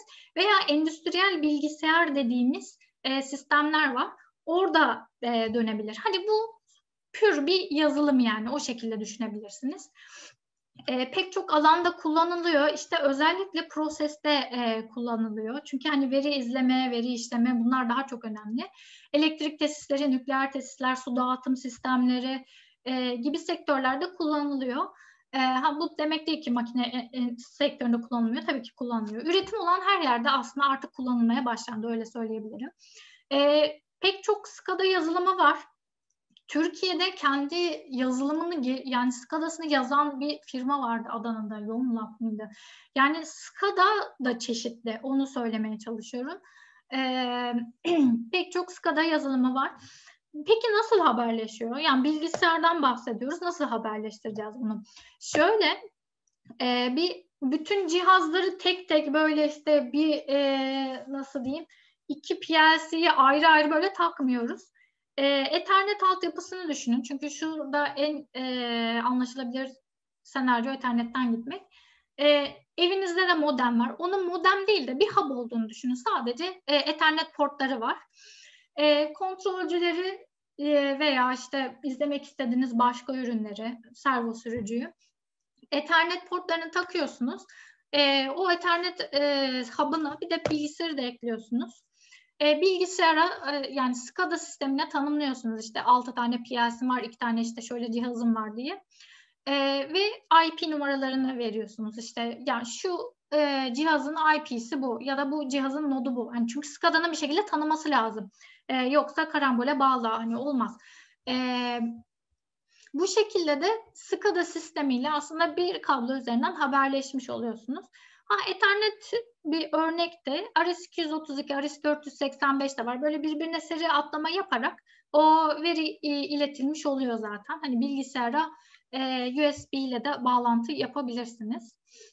E, RS-232'den de veri alabilirsiniz. E, bu e, bizim CX Supervisor'ın bir arayüzü olması lazım ama başka bir firmanın da olabilir bilmiyorum. Mesela burada e, elektrik sistemlerini izlemiş. E, yani grafik e, olarak çok gelişmiş sistemler ve haberleşme altyapısı olarak da çünkü e, mesela Siemens'in bir SCADA'sıyla ben Omron'u nasıl haberleştireceğim? Arada ortak bir protokolün olması lazım. O yüzden hem grafiksel hem de haberleşme anlamında e, oldukça çeşitliliği var. Oldukça gelişmiş sistemler. Ee, endüstriyel haberleşmelerden de biraz bahsedeceğim. Çok böyle iç yapısına girmeyeceğim çünkü çıkamayız muhtemelen. Çok profesyonel de değilim ama en azından hani tanımanız için e, ekleme ihtiyacı duydum açıkçası. Endüstriyel haberleşmeler bu. Şu özellikle e, sanayi sektöründe kullanılan haberleşme metotları e, işte cihazların kendi aralarında konuşması için yapılmış e, protokoller. Yani protokol dediğimiz şey bir dil gibi düşünebilirsiniz. Nasıl İngilizcenin bir altyapısı var. E, Omra'nın konuştuğu Fins'in de bir e, kuralı var. Diyor ki önce kimliğini tanıt, nod numaranı ver. Ondan sonra e, işte fonksiyonunu ver. Sonra hangi data alanından gönderiyorsun onu söyle. Sonra veriyi ver. Modbus başka bir şey diyor. Önce node numaranı tanıt, fonksiyon numarasını ver bana. Sonra bana verini gönder. İşte TCP IP bambaşka bir şey konuşuyor. Hepsinin kendi içerisinde bazı kuralları var. Protokol dediğimiz yapı bu aslında. Ee, RS-232 standartından bahsedelim. Bu şey bir terminal aslında. 9000'li bir yapı. Ee, burada akabinde haberleşme dediğimiz şey aslında geril, gerilim farklarıyla okunan bir şey. Yani kablolardan geçen elektriklerin e, bir sıfır bir sıfırların yorumlanmasıyla e, oluşturulan bir şey. E, o yüzden hani en temel yapı olarak e, bunu söyledim. İki yollu bir bağlantısı var RX e, ve TX. Bu iki tel üzerinden sürekli birbirine e, veri veriyorlar. Yani veri gönderme işlemleri yapıyorlar. Gerilim seviyeleri 3 volt ve 15 volt arasında değişebilir diye biliyorum ama yani sürekli 5 volt 5 volt e, veri akışının olduğunu düşünün. E, 485 standardı bu da seri iletişim sistemlerinde kullanılan bir e, standart. E, bunun da yapısı şöyle ama şu şekilde 9 pinli olarak da görebilirsiniz. Hani e, bir arayüzde o standart tanımlanmış olabilir. E, burada da e, RS422 diye bir standart var. O da aynı şekilde e, bu arayüzden. Sadece birisi iki kablo ile iletim yapıyor, birisi dört kablo ile iletim yapıyor. E, bunun 232'den farkı ne?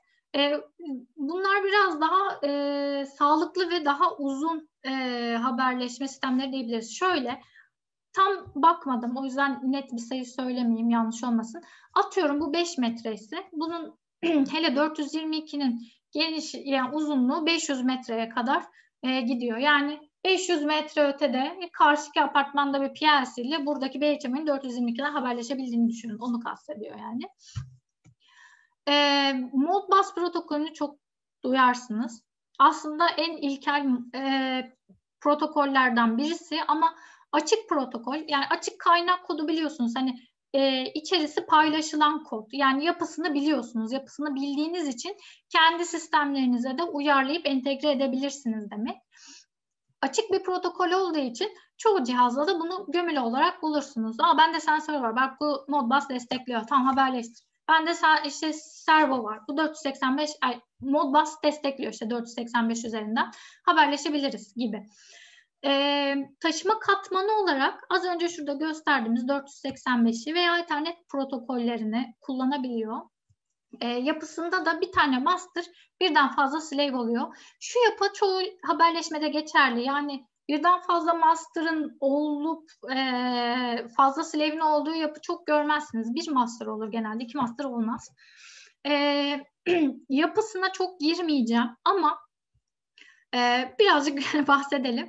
E, bu gelen verileri anlamlandırırken şöyle düşünün. İlk önce Modbus Slave cihaz, e, Modbus ben mesela master'ım işte slave'e veri gönderiyorum. Slave'e veri gönderirken diyorum ki iki numaralı slave işte dört numaralı e, fonksiyon kodunu gönderiyorum sana. Senin şu register'ına şu veriyi gönderiyorum. Hani yapı bu şekilde. Aslında bu tarz e, yapıları bu şekilde e, hani e, aklınızda tutabilirsiniz. Ya çok altyapısında bu arada şöyle söyleyeyim hani bahsediyoruz da çok illa incini cicini bilmenize gerek yok ama bilin yani ne yaptığınızı bilin. E, o o sebepten ötürü bunları koydum. E, bu arada Modico'nun, eski Modicon yani şu andaki Schneider Electric tarafından temelleri atılan bir protokol. E, Ethernet IP protokolü bu daha popüler. E, bu da ortak endüstriyel bir protokolü var. Common Industrial Protocol diye e, geçiyor. Yine şey işte dedim ya hani şey, pek çok e, standart var, protokol var, hani kurallar var. E, bu Common Industrial Protocol de yine e, endüstrideki cihazların birbiriyle haberleşmesi için yapılmış, e, dizayn edilmiş e, yapıların tümü. E, bunun Ethernet'e uyarlanmış bir A protokolü. OSI katmanında uygulama katmanında çalışır. OSI katmanı ne? E, OSI katmanı da şöyle, bunu da koymamışım. E, ona mutlaka bakın. E, yani felsefesi hakkında bilginiz olsun. OSI katmanı aslında e, 7 katmanlı bir mimari, fiziksel levelden e, uygulamaya doğru çıkıyor. Ne anlatıyor bu katman? Yani veri verinin e, veri akışının hangi katmanlardan geçerek ulaştığını söylüyor. E, burada da uygulama 7. katman diyebiliyorum. Yani Ethernet e, fiziksel katmandan, RJ45 arayüzünden, o kablodan başlayarak e, o katman, bu katman ta en yukarıya kadar özelleşiyor. Kendisi her katmandan bazı standartları alarak e, uygulama katmanında çalışıyor. TCP ve UDP paketlerinde kolayca iletilebiliyor. E, bu Omro'nun e, Ethernet IP için kullandığı ve DeviceNet için kullandığı bir arayüz. Burada işte bütün PLC'leri ekliyorsunuz buraya. Hepsinin bir IP adresi var. Hepsi aynı ağda bu arada. Ee, ve birbirine veri gönderiyorlar. İşte 2 byte'lık veri bundan buna, bundan buna 4 byte'lık veri gibi. Oldukça kullanılıyordur. E, Ethercat protokolü. Ethercat de günümüzde en çok kullanılan e, protokollerden birisi. Bu da Ethernet tabanlı bir field bus tek, e, teknolojisi. E, hızlı, gerçekten e, hızlı. Yani nanosaniye mertebesinde çevrim süreleri olabiliyor. E, bunun da yapısında bir master oluyor. E, bu master bir Katar gönderiyor slave'lere. Her slave o Katar'ın içerisinden kendisinin olan veriyi alıyor ve o Katar'a e, kendi verisini gönderiyor. Sonra o Katar diğer slave'e geliyor. O kendi alışverişini yapıyor. Hop o Katar sonra tamamlanıyor. O Katarlardan bir tanesi e, corrupted olunca yani bozulmuş olunca master diyor ki Ethernet framework hatası alıyor. İşte diyor ki o frame'in tamamlanmadı diyor. E, bu da hani genel iç yapısıyla alakalı bir şey. Bununla ilgili de bir video vardı galiba. Onu da izleriz aslında. E, Ethercat kabloları Ethernet altyapısını kullandığı için RJ45 bunu tanıyorsunuz zaten. E, evlerinizde de vardır modem kablolarında. Bir de şöyle e, metrik yapıda dediğimiz böyle yuvarlak uçlu e, sistemler de var. Bunlar da Ethercat. Hani gördüğünüz zaman şaşırmayın. Bunları e, bir PLC'nin tabii böyle bir girişi olmayabiliyor. O yüzden arada bir dönüştürücü kablo kullanılabiliyor. Hani bunu buna dönüştüren kablolar kullanabiliyor. Şu cihazlar peki ne alaka derseniz bunlar da e, uzak I.O. dediğimiz sistemler var. Sizin panonuz burada. Mesela buraya monte edili. E benim e, analog ya da sıcaklık ölçtüğüm değer ta öbür tarafta. İşte burada uzak I.O. dediğimiz kısım oluyor. Inputları orada uzak e, I.O.'ları e, bir tane master olduğunu düşünün. Yanındaki an, e, analog ya da işte bütün dijital girişleri çıkışları topluyor. O modül e, kabloyla mesela işte bu e, bunlar gerçi input output kartı ama e, o kablo üzerinden ta PLC'ye kadar verdiğini düşün. İşte onlar uzak ayıyor. Onların yapısı da böyle olabiliyor. Hani düz e, 24 voltluk bir, ya bunların içinde de 24 volt var ama hani düz e, terminali aç bağla şeklinde değil, e, şu tarz kablolarla verilebiliyor. E, Profibus ve Profinet protokolü var. Bunları da çok duyarsınız. E, bunlar da akabinde Siemens'in e, daha sıklıkla kullandığı teknolojiler. Profibus'ta da ya Profinet'te de Profibus'ta da yine master slave e, ilişkileri var. Profibus 485 arayüzünü kullanıyor. E, kabloları şöyle mordur e, hatta görürseniz. E, yani tabii her mor kablo Profibus kablosu diye değil ama genelde standardı bu şekilde yapmışlar. E, ve uygulama katmanına kadar çıkabilen bir protokol. Bunda farklı profilleri olabiliyor. Profibus işte DP0, DPV1 diye gidiyor. Profinet'te RJ45 yani yine Ethernet, e, endüstriyel Ethernet'i kullanan bir çözüm. E, bu da yine master-slave ilişkisine dayalı olarak e, bir haberleşme sistemi.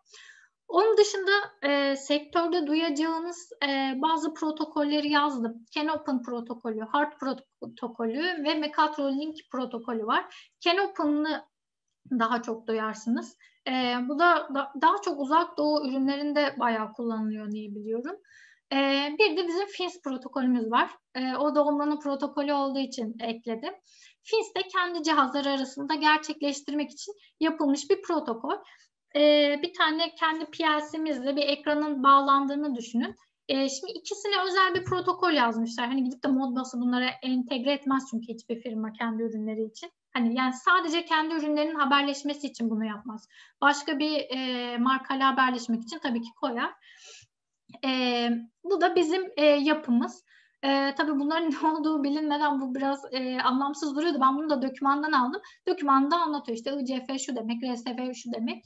Burada da işte FINS haberleşmesinde de önce e, yine bir tanıtım yapıyorlar. İşte iki numaralı nod, e, fonksiyonun şu, işte data alanın bu diye. E, bu şekilde bir yapı. E, bu arada haberleşmede şimdi fiziksel katmanları söyledik ama e, şöyle kat, bu protokoller gömülü olduğu için siz bu katmanları tek tek yazmıyorsunuz. Hani ben sadece o içerisinde e, komutlarla algıladığımız veri nasıl olur e, diye bilginiz olsun diye söyledim. Modbus yaparken e, bir tane Modbus bloğu var. Modbus. Mod, Modbus bloğu var. E, Modbus oku, Modbus yaz diyorsunuz direkt yazıyor, okuyor. Yani bloğa direkt veri geliyor işte. E, ya da FINS'le haberleşirken direkt işte alanlara yazı yazmış oluyorsunuz. Bir tane e, blok var. Yani o bloklar zaten akabinde bu Katar işlemlerini hallediyor. Siz ne zaman bu Katarlara ihtiyaç duyarsınız? Onu da e, neyse şimdi söyleyeyim. Kendi yazılımınız var. Mesela e, C++ ya da Python. E, bazı müşterilerimiz var da çünkü böyle. Kendisinin C++ yazılımı var. PLC ile haberleştirmek istiyorum. Nasıl haberleşir? Bir düşünün. E, yani C++'dan bahsediyorsunuz. Bir kütüphane oluşturmanız lazım. E, hazır ki öyle bir hazır kütüphane de var mı belli değil. O yüzden şöyle yapıyorlar.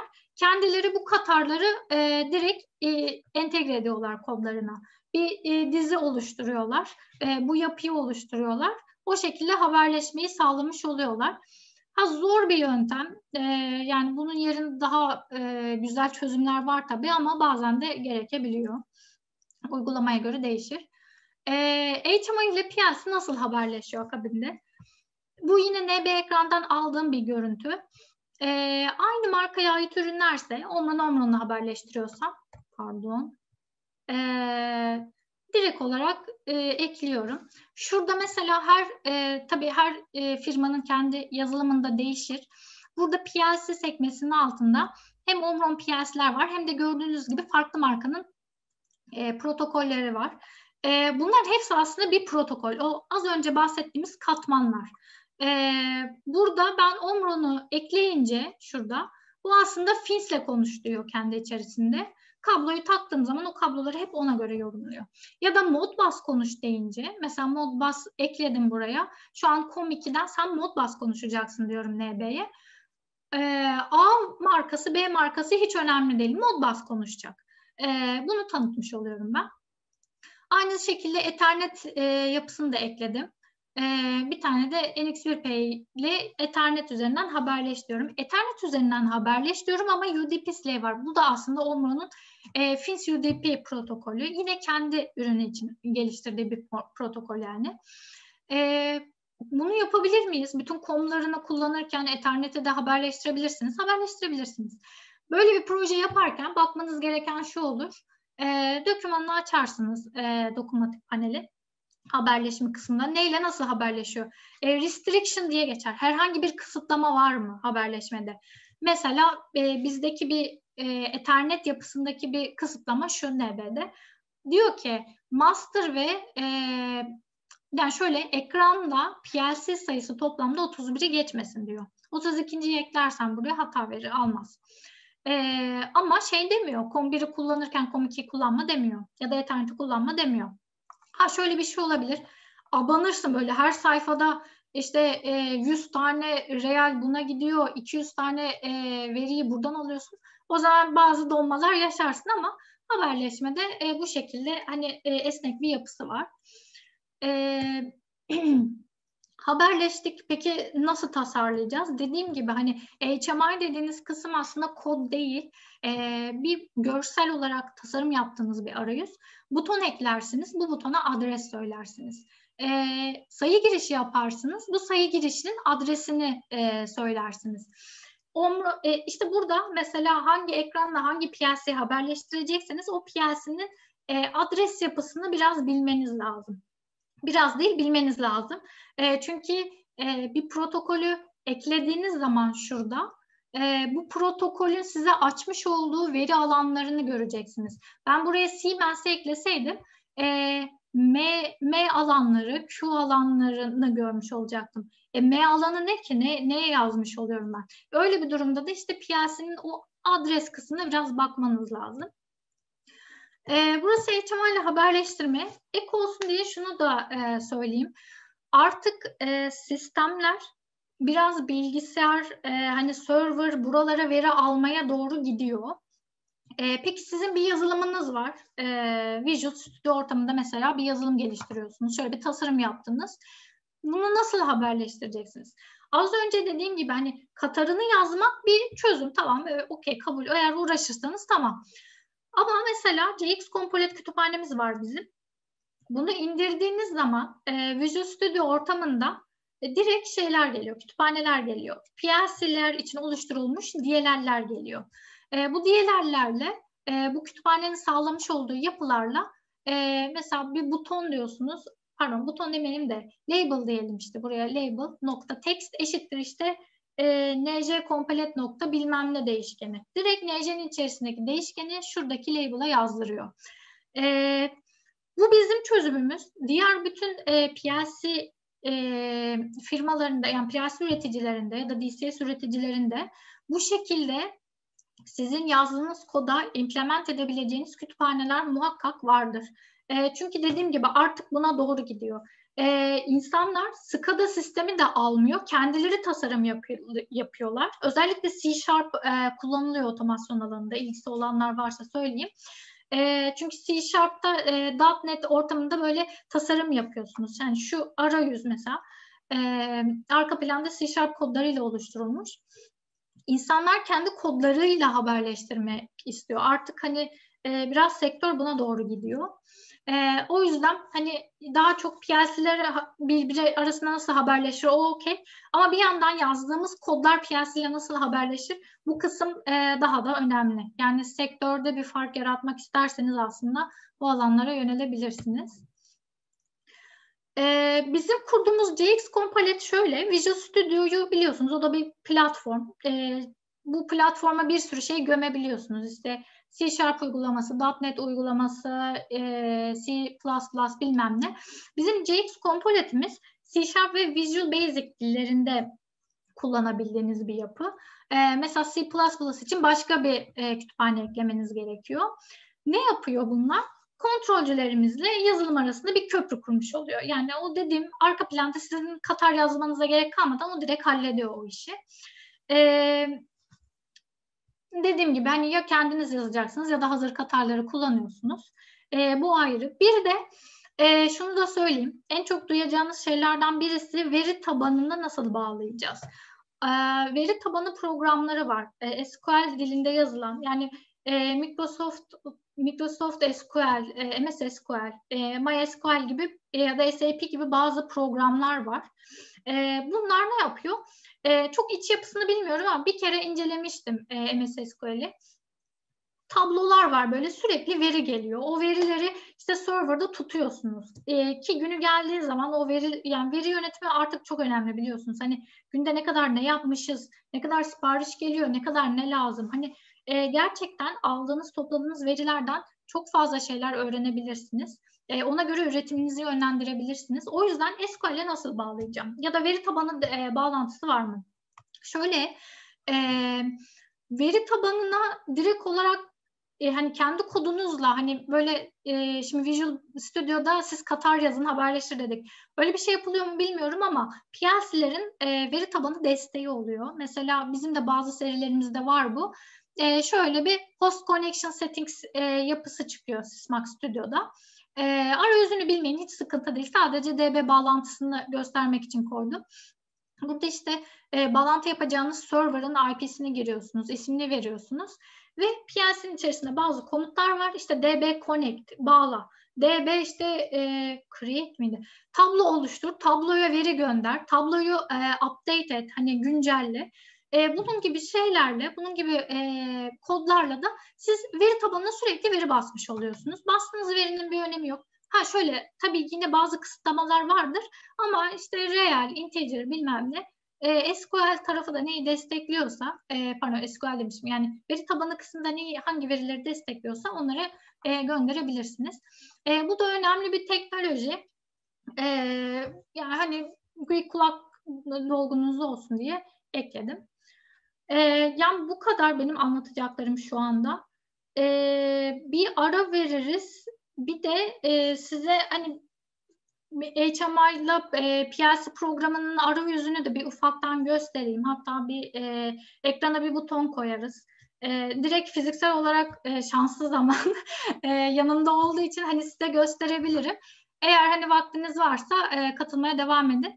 Sadece bir beş dakika e, ara verelim. Bir de soru var mıydı? Ben hiç şey yapamadım, göremedim ama.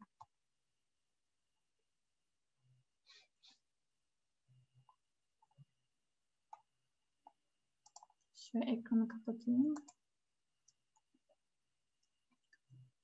Ee, ha, Omro'nun kendi piyasası için Leader Logic versiyonu var mı? e, yani ladder logic'ten kastın ya şöyle kendi programlama arayüzü var. E, maalesef lisanslı yani lisans dediğimizde bir ücret işin içerisine giriyor. Ama bir e, demosu var 30 günlük. E, en azından hani onu kullanabilirsiniz. Bir de Sysmax Studio'nun e, online bir versiyonu var. E, hani siz kurmuyorsunuz. Direkt Chrome'dan e, ya da Chrome veya Mozilla hangisi daha iyi çalışır inanın bilmiyorum. E, onu açıp e, kodları orada bir e, yazıp derleyebilirsiniz. E, o da e, gerçi donanabilir belki ama ya da onun da bir trial versiyonu var. Hani onu kullanabilirsiniz. Soru yoksa e, o zaman ben bir 5 dakikanızı istiyorum. Soru varsa da ekleyin. E, cevap veririm.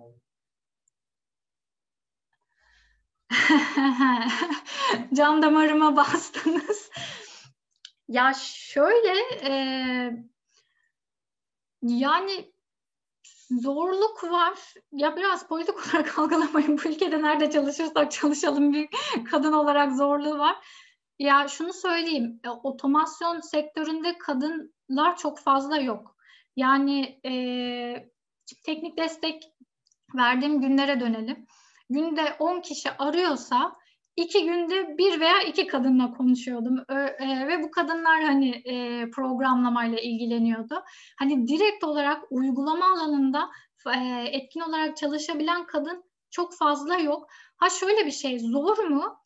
Ya değişir. E, büyük firmalarda e, ya aslında büyük demeyeyim ama kurumsal bir firmaya girdiğiniz zaman Omron gibi işte Schneider gibi e, Siemens gibi e, ve bir uygulama devreye aldığınız zaman e, size şey demez e, git makinede başında e, yat ama bunu sabaha kadar bitir demez. E, siz yani 7'de 8'de akşam işte ya da siz kaça kadar isterseniz çalışırsınız sonra gidersiniz konaklamanızı yaparsınız. Ama e, küçük çaplı e, hani ya kurumsal olmayan demek istemiyorum ama daha farklı e, hedefler doğrultusunda çalışan firmalarda işin aciliyeti, devreye alması biraz daha e, önemli ve acil olduğu için e, ya, yani makinenin başında yatıp kalkmanız gerekebilen durumlar oluyor. Öyle bir durumda da mesela tercih edilmiyorsunuz. Hani e, ya işte kadını oraya göndereceğim yüzde yüz verim alamayacağım onun yerine erkek alırım e, devreye alımını yaparım diye düşünen kişiler var maalesef e, yani var hani zor e, karşılaştığın zorluk bunlar olabilir bir de şöyle bir şey var e, şimdi kadınlar biraz daha az olduğu için sektörde kendini e, ispatlaman için biraz daha fazla çaba sarf etmen gerekebilir. Yani bir, birisi bir soru sorduğu zaman onu tam teşekküllü bir biçimde cevaplaman lazım. Ben en azından kendimi öyle söylüyordum teknik destek olarak çalışırken. Çünkü telefonda müşteri bir şey sorduğu zaman cevaplayamadığına falan öyle tepkiler alabiliyorsun. Yani ben buna sinir oluyordum. Gidiyordum incini ciciğini anlamaya çalışıyordum. Hani her hani her şeyine yine hakim olamıyordum ama en azından bir sonrakinde daha düzgün cevap verebildiğim zaman kabul ettirebiliyordum kendimi. Yani zorluklar var. Biraz duygusal bakmamak lazım. Ya şöyle kimseyi suçlamak da istemiyorum. Yani kadın yok sektörde.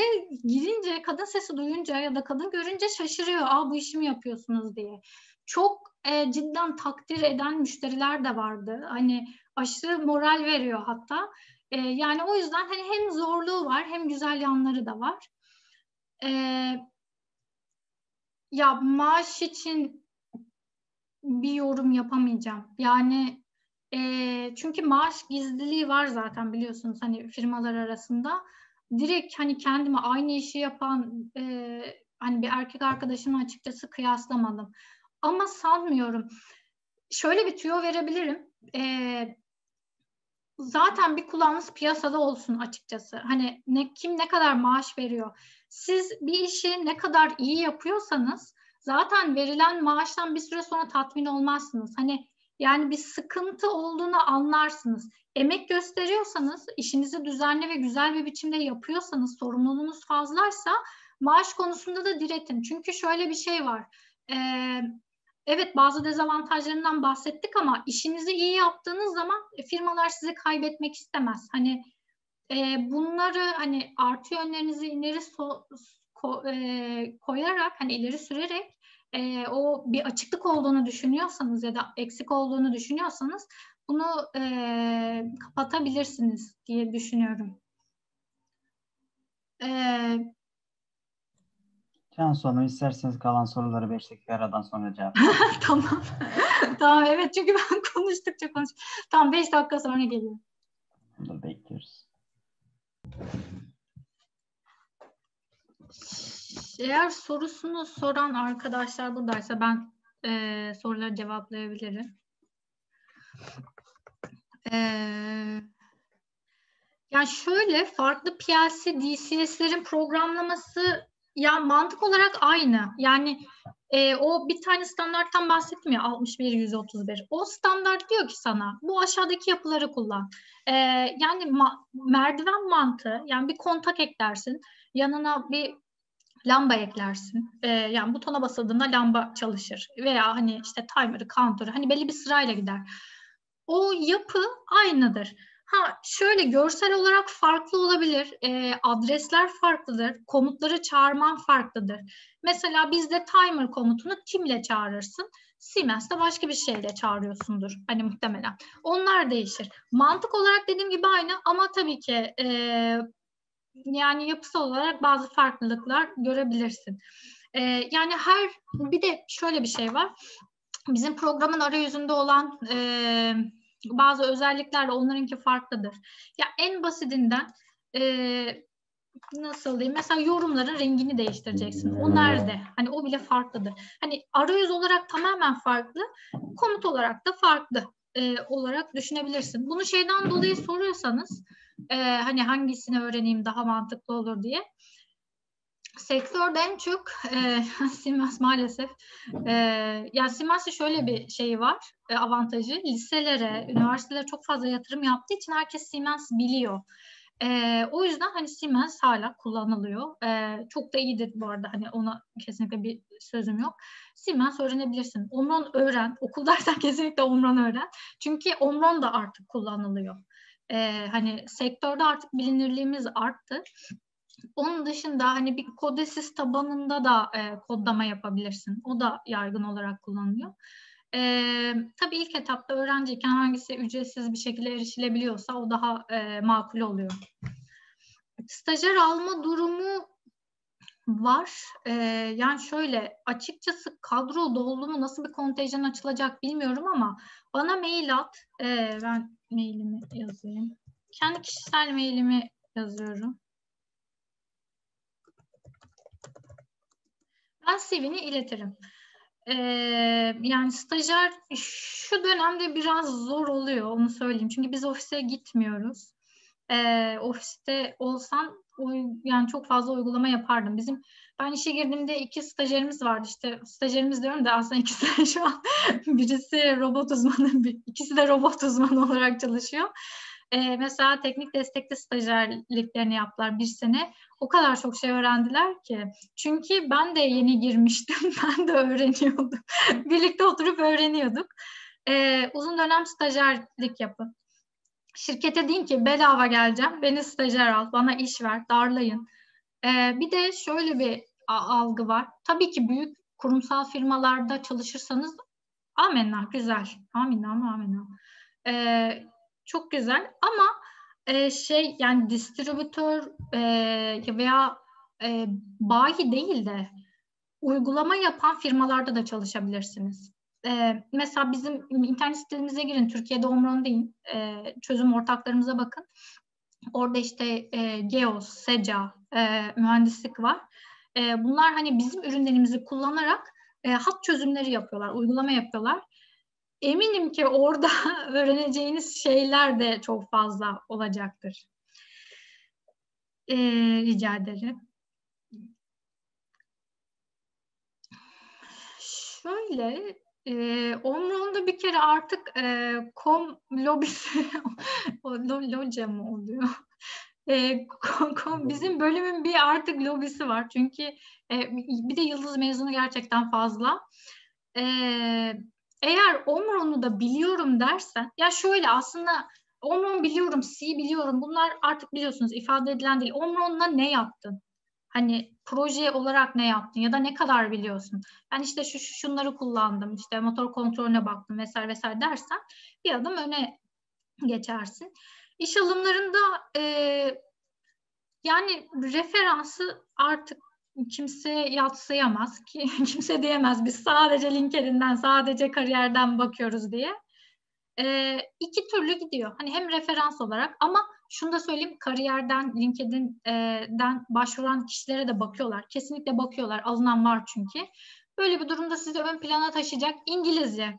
İngilizceyi e, öğrenin demiyorum konuşun, yazın, okuyun. Okuduğunuzu anlamak çok önemli. E, zaten çoğu şey, çoğu veri İngilizce ama o veriyi yanlış anlamadan hani doğru bir biçimde yorumlamanız lazım ve konuşun. E, yani konu, konuşursanız bir tık daha ön plana geçersiniz. Çünkü İngilizce biliyorum diye gerçekten kimseyi hani kötülemek amacıyla söylemiyorum ama biliyorum deyince İngilizceyi insanda bir beklenti oluyor. Hani konuşabilir, yazabilir ama sonradan e, gördüğümüz şeyler kötü oluyor. E, yani hani sıkıntı değil, öğrenilebilecek bir şey ama dili mutlaka öğrenin. E, bir de neye öncelik veriyor? Yani ne, biraz tecrübe e, önemli. Ha yeni mezun ne alaka diyeceksin. Çok haklısın. E, okulda ne nerede tecrübelenebilirsin? Yani laboratuvar ortamına gidip en azından bir proje yapıp bunu sunabilirsen, bak ben böyle böyleyim, e, stajlarımı burada yaptım, e, bu programlama arayüzünü biliyorum e, gibi şeyler söyleyebilirsen e, bence öne geçersin yeni mezun olarak. Pandemide e, pardon gözüm kar. Yani ben teknik destek verdiğim zaman zaten uzaktan çalışabiliyordum. Ee, hani uzaktan telefon görüşmesi yapmaya, internet üzerinden hani devam ettik. Şunun acısını çektim. Her şey yanımda değildi. Ve yani işte artık karma mı dersin? Normalde kimsenin sormadığı cihazlar hakkında soru gelmeye başladı. Ağlıyordum artık nasıl cevaplayacağım diye. Ee, hani e, ko, e, şey e, istediğim cihazlara erişememenin zorluğunu yaşadım. Bir de e, hani onun dışında herhangi bir hani maddi olarak çok bir şey değişmedi. O, şunu söyleyeyim, otomasyon sanayisi devam etti arkadaşlar. Yani e, tamam yine otomotiv sektörü kötü. Mesela otomotiv sektörü şey yaptı, kontak kapattı. Hem biraz bu komponent krizi var biliyorsunuz. Onun etkisi oldu. Hem de yani araba al, alınmadı falan. E, gerçi arabaya talep de arttı. Öyle bir çelişki de var ama ilk zamanlar e, otomotiv sektörü kontak kapattı yani onu söyleyeyim. Ama üretim devam etti. Islak mendil, kolonya, dolum hani bunların hepsi bütün otomasyon firmaları için şey yani maden. Hani bunların üretimi arttı çünkü. O yüzden maddi açıdan bence Türkiye'de etkilenmeyen sektör varsa endüstri otomasyon sektörüdür. Her marka için söylüyorum. Genelde duyduğum hani diğer arkadaşlarla da konuştuğum bu. Ee, bir daha daha az insan görmeye başladım ama biraz kötü oldu tabii eve tıkılınca. Ee, şöyle ya ilan çok e, hani yazda alalım, kışta alalım tarzında bir şey yok. E, bir firmaya niye e, yeni bir ilan açılır? Ya birileri gider e, pozisyon değiştirir ki bizden de bazı e, ayrılanlar olmuştu bir süre. E, onlar yerine alım yaptı. E, bir de işler çok artar, atılım yaparsın, o zaman e, ilan açılır. Şu sıra dediğim gibi hani bir gelişme döneminde olduğumuz için ilanlar açılabilir. E, bir tabii takipte kalın derim. Ama hani direkt dönem olarak bir şey söyleyemiyorum. Çünkü dediğim gibi hani ihtiyaç olacak ki e, ilan versinler. E, yüksek lisans bu arada bizim sektörde de bence artık bir e, adım öne taşır. E, ben bu arada yapmadım. Cansu Hanım isterseniz soruları e, uygulamadan sonra uygulamayı yapacaksak. Tamam evet doğru ben fazla vaktinizi almayayım pardon. E, şimdi benim yanımda e, iki adet yani mutfak tarifi verir gibi oldu. Bir tane kompakt yapıda PLC'miz var. E, çok küçük onu tanıtayım size. E, tablet açtım mı?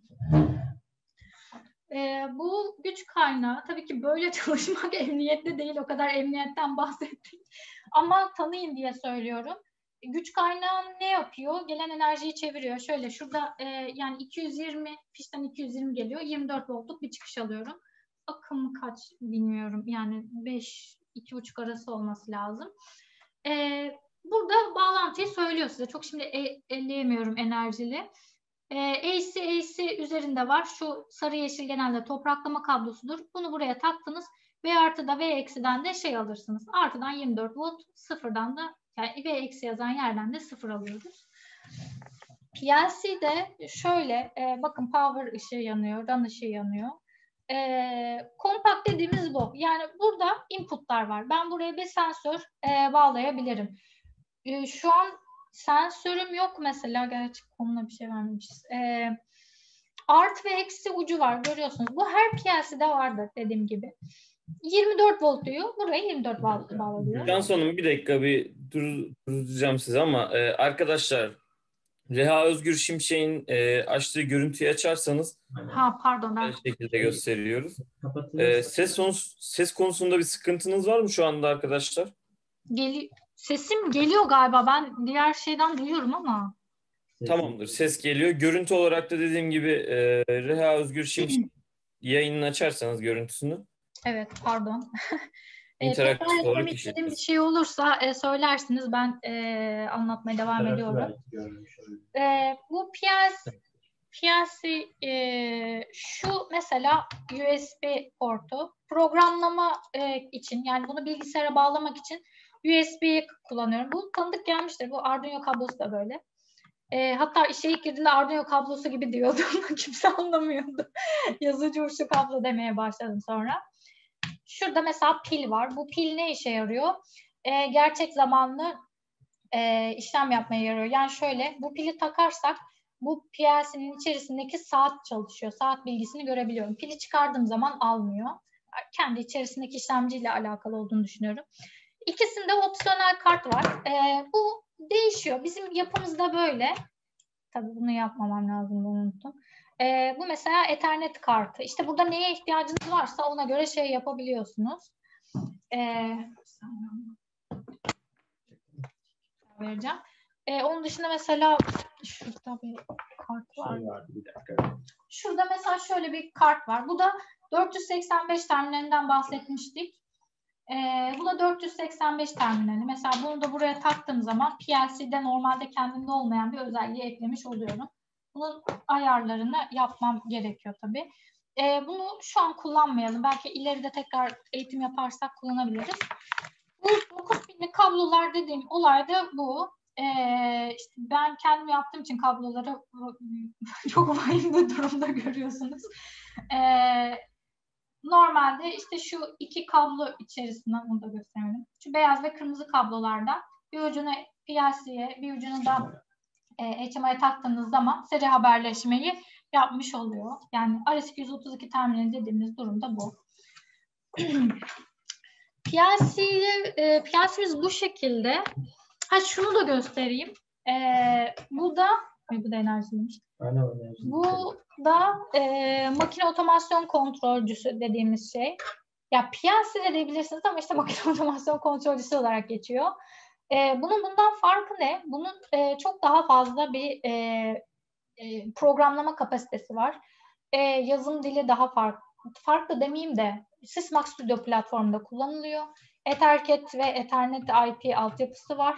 Buradan da L1, L2 diyor. Yani buraya faz nötr ver diyor. E, monofazla çalışan bir şey kontrolcü bu. Buradan da direkt fişi buraya takıyorsunuz. Yani e, bunları niye gösteriyorum? İlk ben mezun olduğum zaman e, tabii ki bunları bilmiyordum. Faz nötr ne, 24 nereye gidiyor falan. E, hani tabii ki benim göstermemle hemen bağlayacaksınız demiyorum ama yani gördüğünüz şeyler bu anlama geliyor. Onu bilin. Hani neye bakıyoruz, nasıl bağlıyoruz onları bilin diye gösteriyorum. E, tabii yine bir şeyi yeniden bağlarken açarsınız ekranına bakarsınız. E, biz şu an GX Programmer'ın arayüzünü göstereceğim ben. E, ben tekrardan bir ondan bir e, fiziksel çıkışları aktif etme yapabilirim. Şöyle sabitleyeceğim. Ee, şimdi şimdilik benim ekranıma bakabilirsiniz. Ben ek- ekran paylaşacağım. Hatta videomu kendimi kapatayım.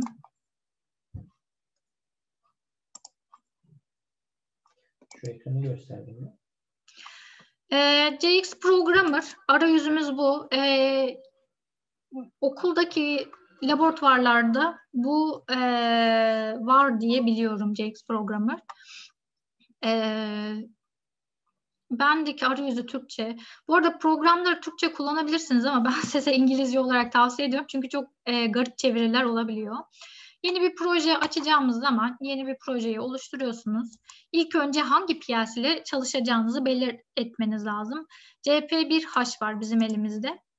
Bilmenize gerek yok ama aklınızda olsun yani bununla çalışıyorsanız bunda bir program e, hani bunda oluşturulan programları atamıyorsunuz. Hani öyle bir uyumu yok.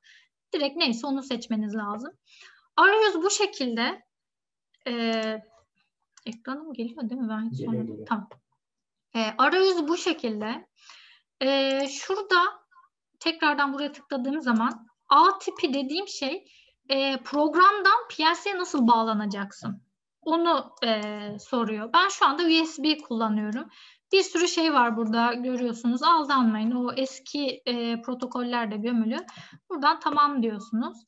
E, şurada semboller var. Burada e, kendiniz bir sembol oluşturabiliyorsunuz. Mesela buton. E, burada bir iş yapabilmek için şimdi tam buton diye eklerseniz çok güzel programlama dilinde yapar gibi bir tane e, bir buton diye bul değişkeniz olmuş olur. Tebrikler. Ama e, PLC ortamında çalıştığımız için şöyle adres belirtmemiz gerekiyor. Her PLC'nin kendi adresleri var. Ben burada e, uzun uzun anlatmayacağım size. E, yani onu da hani isterseniz başka zaman e, şey yapabiliriz, çalışabiliriz. Ben buraya yardımcı kontak olarak W0.00'ı, W alanları Omron PLC'de şey e, yardımcı röle gibi düşünün. Yani fiziksel bir karşılığı yok. E, işlemcide işlemci o şekilde bir yer ayırmış size. İşte W0'dan e, W1000'e, 2000'e kadar bir alan veriyor. Diyor ki sen buraları kullanabilirsin. Nasıl bir C'de, C Sharp'ta lokal değişkenleri oluşturuyorsunuz ya. Aynı onun gibi düşünebilirsiniz. Kontağı C ile çağırabiliyorum. Bunlar kısa yollar. İleride zaten kullandıkça görürsünüz. Şurada kontak işareti var. Bunu ekleyebilirsiniz.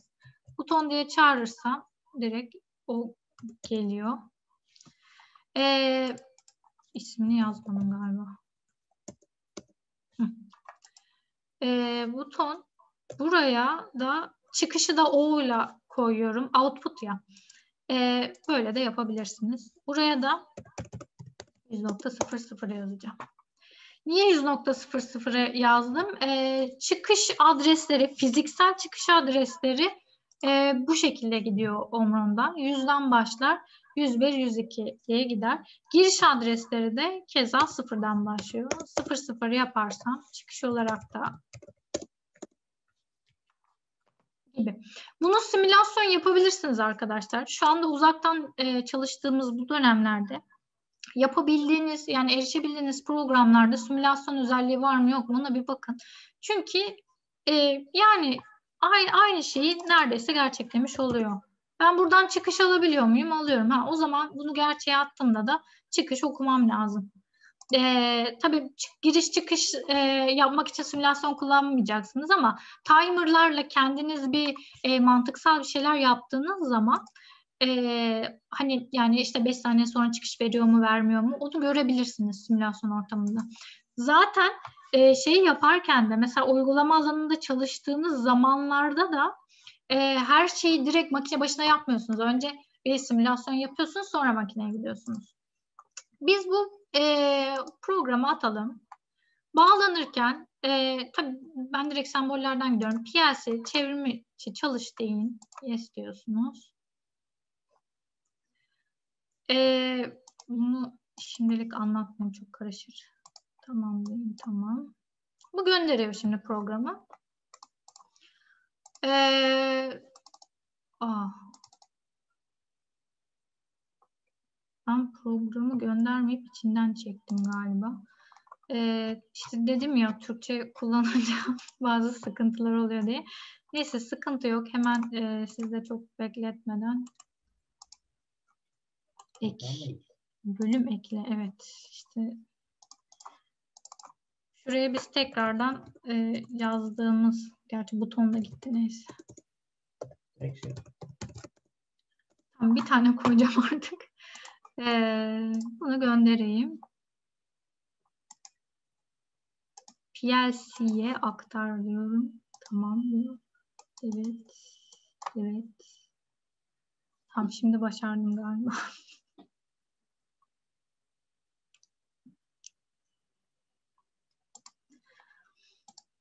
Ee, şuradan PLC'nin modunu ayarlayabiliyorsunuz. Ee, bir üretimdeyken bir şey e, program atacağınız zaman e, ya da hani durdurman gerekiyorsa buradan program moduna geçirebiliyorsun. Program mod, moduna geçirdiği zaman bütün çıkışlar kesilir normalde. E, çalıştır dediğinde de tekrardan PLC'nin program. Zaten şurada run ışığı yanıp sönüyor. Şu an mesela ben e, şu kontağı verdiğim zaman 100.0'ın yanması lazım. Şuradan yandı. Görünüyor mu? acaba? Ee, görünüyor mu bilmiyorum. Şu an komun üstündeki 0.0'ın lambası yandı. Tekrar Reha Özgür'ün ekranına geçecek olursanız. Ee, ne yapmış oldum? Şu an şuradan bir işte e, 24 volt veya 0 volt e, artık PLC'nin çıkışı neyse PNP mi ona göre bir sinyal almış oldum. E, tabii şu an komucuna bir şey vermem gerekiyordu. Bu beslemeyi ayrıca komdan alıyor. Eğer koma bir şey verseydim, şuraya da multimetreyi bağlasaydım şuradan 24 voltu görmüş olacaktım. Ee, yani fiziksel olarak giriş çıkışın etkilenmesi bu oluyor. Şuradan da analog e, giriş ve çıkışlar var. Bunları da yakalayamayacağımız için çok yapmadım. Ee, yani arayüz ve programlaması bu şekilde oluyor genelde. Komutlar var demiştim. Azıcık onlardan da bahsedeyim. Mesela timer'ı komut çağıracağınız zaman I'ya basabilirsiniz. Veya şurada instruction var. Buna eklerseniz tim tim arşiv kullan. Ee, şöyle komutu çağırıyorsunuz. Bu timer'ın numarası kaçıncı timer'ı kullanıyorsun diyor. Şu da milisaniye cinsinden 10 milisaniye diyor. Yani 100 milisaniyeye tekabül ediyor. Biz bunu göremeyeceğimiz için 100 yapalım. Ee, ben buraya ekledim timer'ın kontağını. Şöyle T0 diye eklersem ve 102'yi aç dersem şu anda şey yapmış oldum. Ee, basamak bantı V001'e e, aktif ettiğim zaman timer'ım çalışsın diyorum. Timer çalıştıktan sonra bir saniye çalıştıktan sonra çıkış verecek ve o da 100.02'ye işte basamak mantığı bu oluyor. Ee, tekrardan göndereyim. Mesela ne komutunu kullanacağınızı bilmiyorsunuz. Bir uygulama yapmak istiyorsunuz. Yani öyle komutlara göz gezdirmek istiyorsanız yardımda şey var. Yar, yardım da değil pardon. Komut yardımına bakın. Komut yardımı cidden çok iyi. Ee, güzel anlatıyor. Şunu bir yapalım. 100.02 çıktı. Yani şurada fiziksel olarak çıktı. Burada fizikselliğe çok önem vermeye gerek yok. Yani timer işlevini yaptı. Ee, ve timer'dan sonra bir buton yandı. Hani sizin ilk etapta yapacağınız, hani kendinizi alıştırmak için yapacağınız şeyler bunlar olur. Ee, el, elinizde eğer motor olursa o zaman motor komutlarını da kullanabilirsiniz. Dediğim gibi mesela bir komutun nasıl kullanılacağını bilmiyorsunuz. Komut yardımına tıklayın. Burada sana anlatıyor e, timer value diyor, set value diyor. Yani ne kadara set diyeyim diyor sana timer'ı. Burada da grafiksel olarak e, anlatıyor aslında. Timer input on off olduğunda saymaya başlar diyor. Completion flag dedi yani bitirme flagı. E, aslında bizim T0 olarak kullandığımız şey. E, bu diyor bir olur diyor. E, bu GX Programmer'da olur da uygulama geliştireceğiniz zaman bu yardımı kullanabilirsiniz. Cidden e, güzel. Ben de çoğu e, bir sürü çünkü blog var. Kullan, nasıl kullanılıyor bakmak için e, o kısımdan e, faydalanıyordum. JX Programmer arayüzü böyle. E, şuradan fonksiyon bloğu ekleyebiliyorsunuz. E, başka çok da bir özelliği yok. Fonksiyon bloğunu SD olarak ekleyebiliyorsunuz. Bakın burada merdiven, merdiven şu ladder, şu da SD structure test, text olarak geçiyor. Ee, bunu hiç SD dilinde ben yazmadım burada. Buradan kodunuzu e, fonksiyon bloğu olarak ekliyorsunuz. Girişini çıkışını belirtiyorsunuz. Ve gelince şuradan F diye çağırıyorsunuz. Şu anda tabii içinde bir şey olmadığı için bu şekilde. Yani arayüz bu şekilde. E, kodunuzu şu sectionlardan oluşturuyorsunuz. E, kısmetse ya ben ya da bilgi anlamından alırsanız çok daha iyi olur. E, ileriki zamanlarda belki hani yavaş yavaş böyle kodlama eğitimleri falan da e, yapılabilir. Ben bir de Sysmax Studio'yu göstereyim. Ya burada şu an şeyi bile öğrenseniz ya nasıl bağlandık, neyi seçmemiz lazım o kar zaten. Çünkü elinizde bir şey yok, hani e, bir imkan yok. E, cidden hani öğrenci olmak da daha zor. Yani çalışmak bir kenara zor. E, öğrenci olmak çok daha zor gerçekten. Haklısınız o konuda. E, ki yazılımlar ücretli. Hani çok fazla bir kolaylık sağlanmıyor. E, o yüzden ekran geldi herhalde değil mi? Bir saniye ben tekrardan bir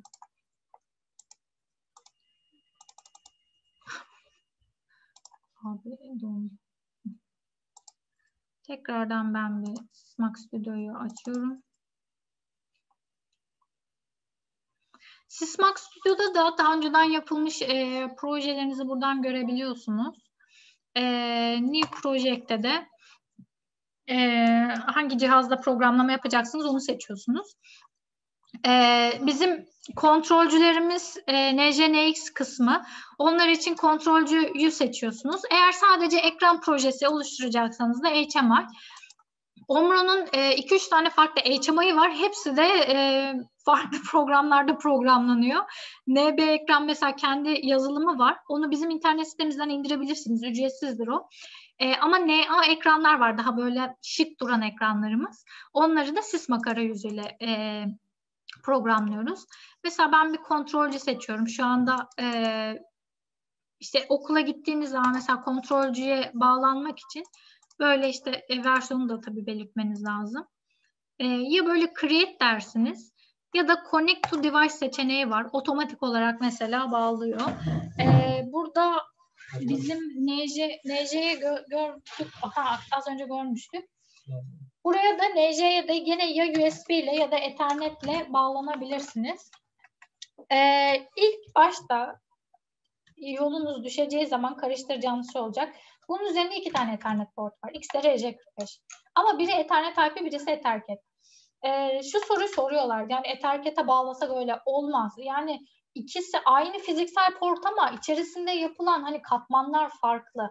O yüzden bilgisayar arayüzüne bağlanacaksanız Ethernet IP'ye bağlı, bağlıyorsunuz bunu. E, Ethercat için de zaten bu portu kullanıyorsunuz. Bunu da hemen kendi bilgisayarımın Ethernet portuna bağladım. E, direct connection diyorum bulsun diyor. Bu arıyor şimdi şey istiyor şaşırmadık. Görünen kısım neresi? LED falan Yok buradan LED yok onu kapatabiliriz ya. E, şimdi şöyle NJ'de benim gösterebileceğim fiziksel bir şey yok. Demiştim ya modüler PLC'lerde giriş çıkışları hep ekleme yapıyoruz. E, gördüğünüz gibi şurada bunun şeyi var. Sonlandırma kapağı var. Bunu açıp bunun yanına modül eklemek lazımdı. E, yani bu aslında evet boş bir kontrolcü gibi duruyor şu an. Sadece içerisinde böyle e, kod yazıp onu derleyebiliriz. Ben niye e, şu an bağlanıyorum? Yani Sysmac Studio'da hani nasıl bağlanıyor? E, en azından bir onu görmeniz amacıyla e, bunu yapıyorum.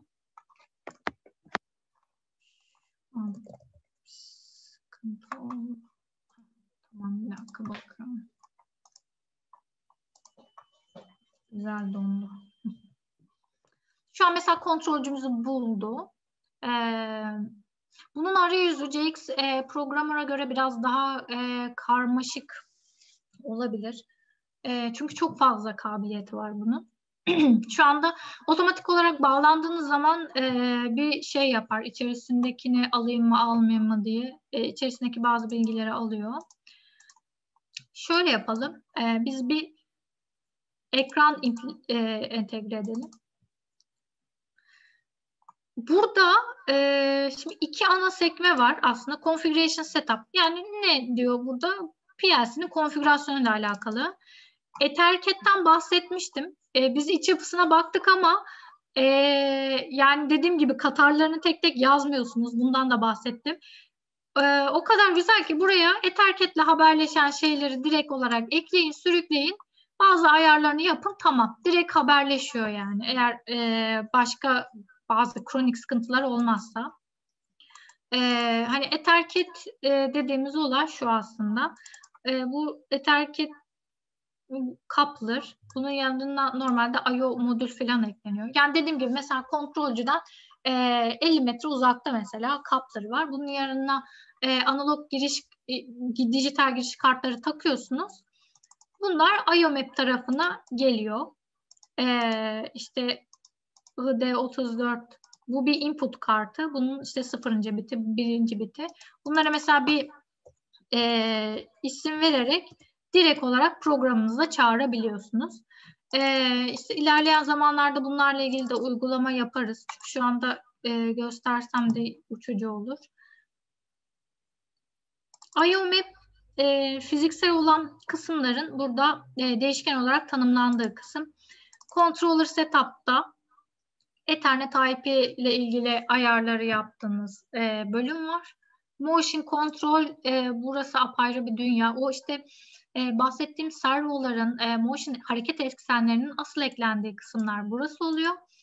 Programming'de asıl kodu döndürdüğünüz yer. Uzaktan çalıştığınız zaman elinizde Sysmax Studio varsa ya da bilmiyorum bir fikir geldi okuldaki bilgisayarlara uzaktan bağlantı yapabilir misiniz? Öyle bir şey izin verirler mi acaba ama yani burada yapabileceğiniz şey bu şekilde e, küçük küçük kodlar yazıp bunları compile edip simülasyon ortamında e, düzenlemek olur, e, görmek olur.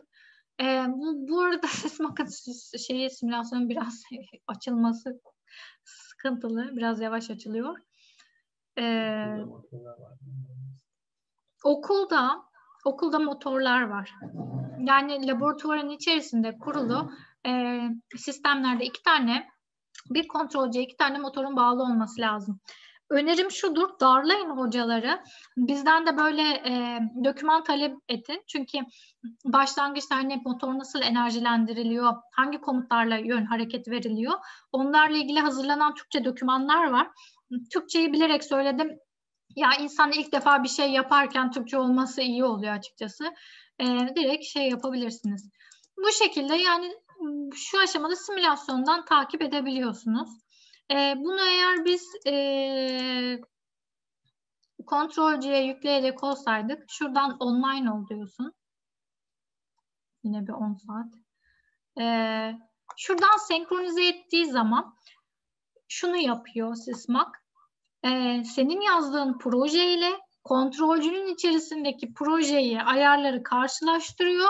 Diyor ki etherketlerin farklı diyor. Sen e, daha önceden kontrolcüye başka bir şey yüklemişsin. Şimdi başka bir şey yapmışsın diyor.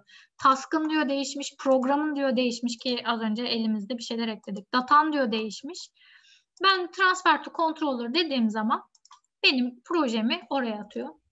Zaten bu e, en basit şey transfer to dediğiniz zaman to controller to HMI dediğiniz zaman kontrolcü e, şey projeyi gönderir. From derseniz de çeker. E, hiç şaşmayacağınız şeyler olsun. E, röle sesi geldi bilmiyorum attı, e, duydunuz mu? Kontrolcüye böyle bir şey atınca bir ara kendini stopa alıyor. Sonra tekrar run'a alıyor. O zaman da e, böyle bir röle atıyor. Şu an PLC'ye bağlıyız. Kontrolcüye bağlıyız. Ama dediğim gibi hani yani fiziksel olarak bir karşılığı olmadığı için maalesef çok bir şey gösteremiyorum. Ee, şuradan online olduğunuzu ve error durumunu görebilirsiniz. Ee, buna ekran ekleyecek olursanız da şuraya add device dediğinizde HMI e, HMI tasarımında buradan yapmış oluyorsunuz. Yine configuration setup kısmı var. Hiç geçme, girmeyeceğim çünkü çok da zamanınızı almayayım. Ekran programlama yapmaya çalıştığınız zaman ara, e, önünüze gelecek e, ekran budur. Page 0. E, page eklersiniz. Sayfalar. Sayfa geçişleri yapabiliyorsunuz. Bir sayfada alarmları görürken diğer sayfada e, başka bir şey görebiliyorsunuz. Buton butonlar var. Toggle butonlar var. Burada butonlara e, değişken ekleyebiliyorsunuz.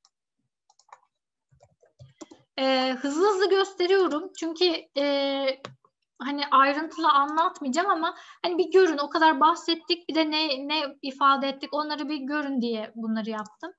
E, toolbox'ta buraya baktığınızda lambalar e, şekil çizebiliyorsunuz. Yani böyle dizayn edilen bir şey var mı da bilmiyorum. Standart kontroller, işte data edit, bir sayısal veya e, text input gireceğiniz zaman e, ya da bir mesaj yazdırmak istediğinizde label ekliyorsunuz. E, HMI kontrolde işte reçete dediğimiz bir sistem var. E, o zaten bambaşka dünya. Geçin mesela daha güzel bir şey koyalım. Grafik. E, mesela buraya bir veri izlemeyi koyduğunuz zaman hani buna bir veri atadığınız zaman e, verileri izliyor. Burada da bazı kendi mesela flaglar tanımlamış işte Türkiye var mı? Varmış. E, pipes işte ama siz bunlara bağlı kalmadan buraya e, bir şey de ekleyebiliyorsunuz. Hani resim de ekleyebiliyorsunuz. Zaten müşteriler hani bunları kullanıyor ama genelde kendi logolarını, resimlerini e, koyuyor. Yani tasarım yaparken hani bu arayüzleri kullanacaksınız. Arayüzler de farklıdır dediğim gibi. E, hani NEA'nın e, kaldı ki diğer firmaların arayüzleri de farklı olabiliyor. Ha, kodları da şuraya yazıyorsunuz. Mesela bir kod kısmı var. Burada subrutinlerinizi ekliyorsunuz. Ne ekleyeceğimize nereden bakıyoruz? Instruction referans diye bir kısım var. Ee, yani bu şekilde ben hani göstereceklerimi gösterdim. Daha devam et derseniz de ederim. yani bunun sonu olmaz. Ee, isterseniz önce çünkü saat dört çeyrek olmuş bir e, sorularınızı cevaplayayım. Sonra hani göster şunu yap bunu yap dediğiniz bir şey varsa da yaparım. Ee, başımın üstünde yeriniz var. Ee, bir sorular. Yani soru var.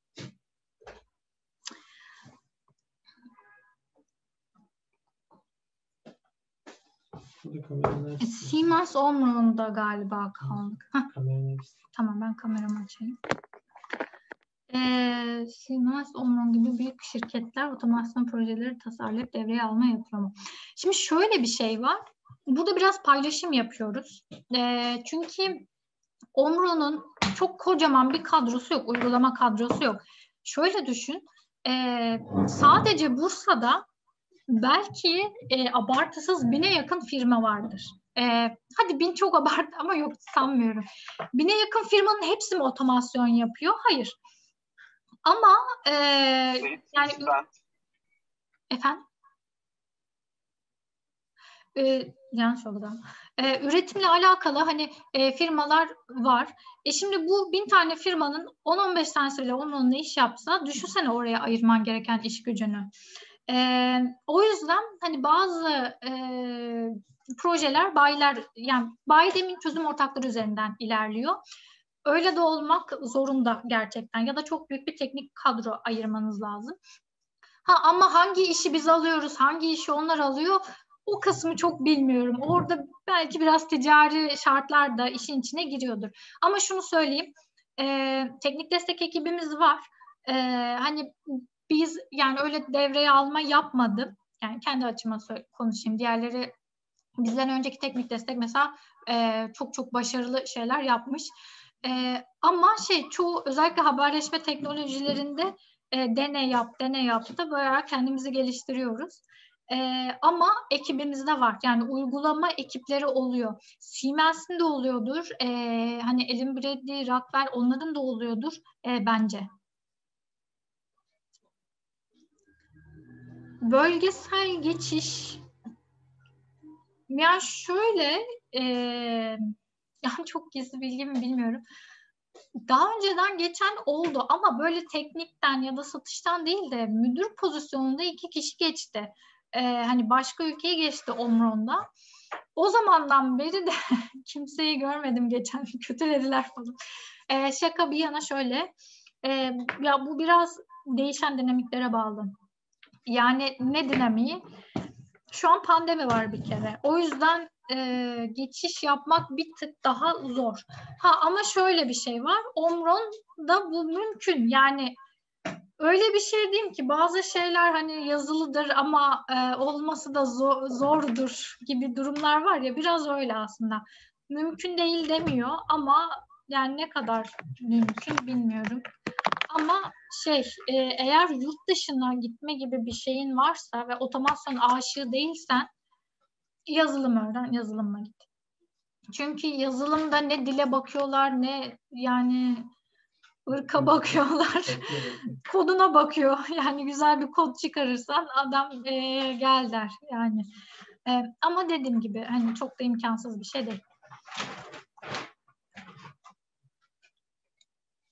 Başka arkadaşım da başka bir firmadan da otomasyonda çok duymadım ya. Ee, gerçi çok iletişimim de olmadı ama yani genelde e, tanıklık ettiğim kişiler e, yazılım alanında. Hangi yazılım? Yani yazılım da çok geniş. Hani ne yazılım onu da bilmiyorum ama yazılımcı olduklarını biliyorum. Yani yazılımdan yürüyebilirsiniz. Başka sorunuz varsa veya e,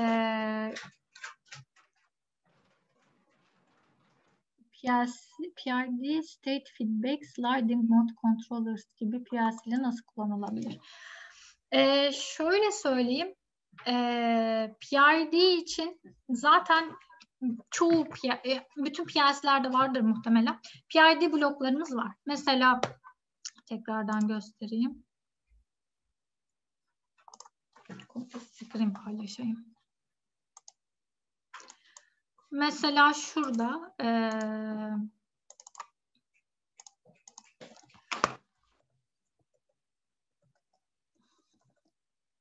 ha, tabii bu fonksiyon bloğuydu. Pidat. Mesela şurada pidat fonksiyonu var. E, burada bazı e, parametreler var. Tanıdığınız, tanıdık gelenler şunlardır. Proportional band, integration time, derivative time e, P ve SP. Bunda anlık değer, bu da set point'in. Sıcaklığın anlık değişiyor düşün.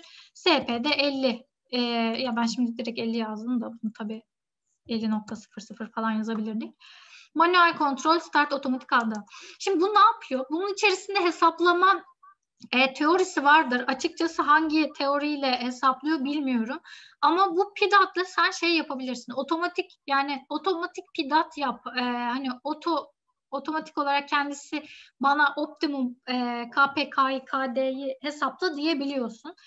Dediğim gibi yani muhtemelen içerisinde gömülü bir e, muhtemelen değil öyledir. İçerisinde gömülü bir sistem vardır. E, optimum katsayıları oradan hesaplıyordur.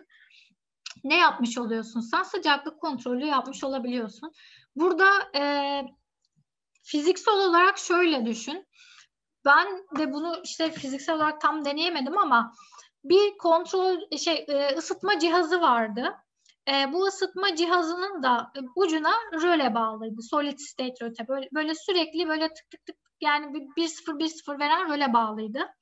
E, bu o e, kontaktör röleden e, bir tık daha farklı olarak düşünebilirsiniz. Şimdi burada mesela şu an 40 e, benim anlık değerim. Şimdi 50 ya hata değerini bu e, yüzde yüz olarak algılıyor. Yani diyor ki ben 40'tayım 50'ye ulaşmam lazım. E, bu e, hata oranı yüzde yüz olduğu için sürekli çıkış basıyor. Bu e, PIDAT'ta birkaç tane daha komut var. TPO çıkışı var. O da orantısal e, çıkış bloğu gibi bir şey. E, sen fiziksel çıkış olarak aslında bir solid state bağlıyorsun e, ve buradaki oran yüzde yüz olduğu sürece o röle sürekli çıkış veriyor ısıtıcıya ve ısıtıcı sürekli e, ısınmış oluyor. O hata oranı düştükçe, pidat e, oturmaya başladıkça oradaki e, on-off konumu da, rölenin on-off konumu da e, azalıyor. Yani e, nasıl diyeyim bir cycle'da yüzde yirmi oranında onken yüzde yirmi oranında offken yüzde seksen onsa o oran biraz daha kapalı olmaya başlıyor ve oturdukça da o çıkış tamamen kesiyor. Isıtmak için herhangi bir eyleme geçmemiş oluyor. Bu benim anlattığım en basic e, şunu da yapabilirsin. Tabii biz e, şimdi okulda gördüğümüz kontrol sistemiyle hızı kontrol edebiliriz. Yani ben şu an on-off kontrolden bahsettim aslında. Bir analog değer e, çıktısı almamız lazım. E, o dediğim şeyleri de yapabilirsin. Ama hani ben direkt bir örnek yapmadığım için e, hiç anlatmayayım. Hem kafa karışır hem de yalan yanlış anlatmış olurum. Ama dediğim gibi yani on-off örneği o şekilde. Aslında şöyle PIDAT'ın bu bloğun çıkışına göre sen e, çıkışını kullanmış oluyorsun öyle söyleyeyim. Burada e, parametrelerin durumunu görüyorsun. Bunu sen e, buradan aldığın çıkışı da direkt olarak şu çıkış olarak kullandığın da meyveydi yanlış hatırlamıyorsam. Meyve işte yüzde yüzken sürekli çıkış versin diyorsun. Eksi yenince e, analog bir PID için konuşuyorum. Eksi değer versin diye e, söylüyorsun. Hani PIDAT'ı bu şekilde uyguluyorsun. Normalde zaten e, otomasyon sistemlerinde genelde şey kullanılıyor. Yani PIDAT, yani PID, PID kontrolcü yapıyor. E, optimum e, parametreleri kendisi buluyor dedim.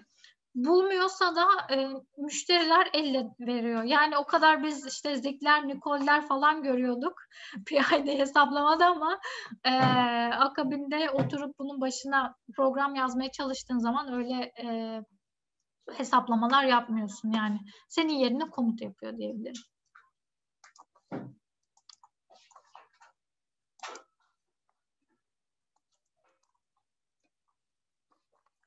Bu şekilde. Bu arada bu PRD bloğuna benzer CP serilerinde de var. Direkt programında da var. Merhaba Cansan. Ben bir soru sorabilir miyim? Tabii. Ee, şimdi siz birkaç platform gösterdiniz ya mesela farklı şirketlerde şirketlerin sağladığı e, piyasaları kodlamak için e, platformlar. Dilin yapısı aynı olarak kalıyor mu? Mesela Logic e, programlama diliyle Structure Task e, programlama dilinin yapısı aynı kalıyor mu? Yoksa tek değişen platformun yapısı ya da görselde bir şeyler mi değişiyor? Ya şöyle. Olacak. SD standartında değişiyor olabilir. Ee, şimdi iki tane farklı markada leather yaptım. Leather aynı. Yani kontak var. Böyle merdiven gibi gidiyor. Dediğim gibi bir tek komutları çağırma biçimin e, bir de e, şeyler değişebiliyor. E, şimdi Kodesiz yazan, Kodesiz kullanan birisi var mı bilmiyorum. Onunla belki bir kıyaslama yapabiliriz. Şimdi siz ben şimdi yükledim Kodesis'i. Bize tamam. geçen bir e, hoca gelmişti o e, önermişti. Ben şimdi yükledim onu. Onu ee, önerir misiniz yani? Açık tabanlı diye biliyorum ben bir de. Ee, şimdi şurada mesela SD dilinde bir şey yapmaya çalıştığın zaman gerçi bir dakika ben şimdi SD'de uzun zamandır yazmadığım için direkt hazır bir kod varsa onun üzerinden göstereyim o daha iyi olur. Ee, ya standarda aynı olduğu için hani e, çok fazla bir şey değişmiyordur ama yine bazı yapısal farklılıklar olabilir. Yani hani biraz bir alışmanız gerekebilir. Mesela Codesis'te e, hani gerçi bir uygulama yapmıştınız galiba değil mi? Hani nasıl bir yapısı var işte görmediğim için hani iki farklı şeyi kıyaslayamadığım için açıkçası ben size çok direkt e, hani şu şekilde farklılıklar var bu şekilde farklılıklar var programa, programlamasında e, diyemedim. Hani ikisini karşılaştırsak belki daha iyi olurdu. Şuradan mesela bir tane Modbus örneği vardı oradan göstereyim.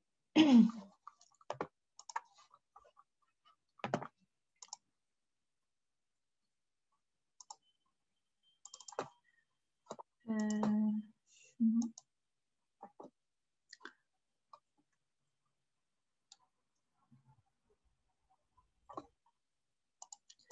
Mesela burada yazdığımız SD bu biçimde. Burada mesela bir e, demiştim ya Modbus'ta da Katar yapmıyorsunuz. Direkt bloklar var diye. Modbus write diyorsunuz. Slave adresi verince direkt yazıyor. Her neyse. Mesela SD'de yazdığımız yapı biraz böyle. İşte e, mesela şurada bir değişken ismi tanıtıyorsun. Burada da port numarasını tanıtıyorsun. Hani e, tamam burada biraz kod kullandık gibi ama aslında e, eşitlemeler yapıyoruz. Bir de şurada tabii fonksiyonun e, şurada enumeratör çağırıyoruz mesela. Hani Codesys'te de e, bu şekilde mi kullanılıyor? Çok e, emin değilim. Ama aslında bir standarda bağlı olduğu için çok büyük bir farklılık olmaması lazım ya. Ama yine de şeyi duydum yani Codesys Omron biraz farklı diye duydum. Muhtemelen bir hani ikisi bayağı mesela farklılık vardır diye düşünüyorum. Tamam. İki tane de özel soru sorabilir miyim? Tabii ki sorabilirsin. Ee, mesela şimdi bu işin PLC'nin programlama bir de e, networking tarafı var ya. Siz bunlardan hangisinde en çok zorlandığınız yani networking tarafını anlama, anlamakta mı yoksa farklı e, programlama dillerine hakim olmakta mı? İkinci sorum şu, şöyle olacaktı. Siz az önce e, Arduino geliştirmeden konuştunuz. Anladığım kadarıyla e, biraz deneyimimiz oldu. Deneyiminiz olmuş Arduino geliştirmekte. Arduino geliştirmenin e, PLC programlamaya ne gibi etkisi oldu? Yani bir yardım oldu mu sizin için? Ya Arduino çok geliştirmedim. bir hevesle bir kit aldım hala o kit duruyor. Ee, ya şöyle bir şey var. Tamam evet e, yazılım dilleri farklı, e, PLC'ler farklı ama akabinde bir algoritma yazıyorsun. Evet gene söylüyorum PLC'nin ki farklı, e, mikro işlemcinin bambaşka ama hani ya bir şey kurabiliyor musun? E, hani e, nasıl diyeyim? Mesela bir işte ya hep timer'dan bahsediyorum bu arada. Kusura bakmayın algoritma olarak bir de o aklıma geliyor kolay olarak ama işte atıyorum 3 saniye sonra bir şeyler yansın. İşte şuradan şu veri gelirse bu olsun. If else yapısı geliştireyim bilmem ne.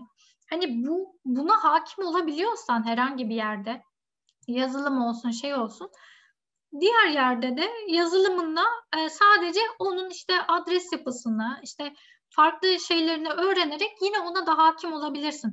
Algoritma temeli dediğimiz bir şey var ya, algoritma kurabilir olmak. Önemli olan bu aslında. Yoksa Arduino ile PLC'nin çok da bir alakası yok baktığın zaman.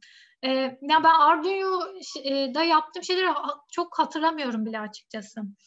E, gerçi çok fazla uğraşmadığımdan da kaynaklı olabilir. Mesela Arduino öyle çok uğraşsaydım DB ekranın e, diline belki makro yazma tarafında biraz daha hakim olurdum. Onlar benziyor gibi.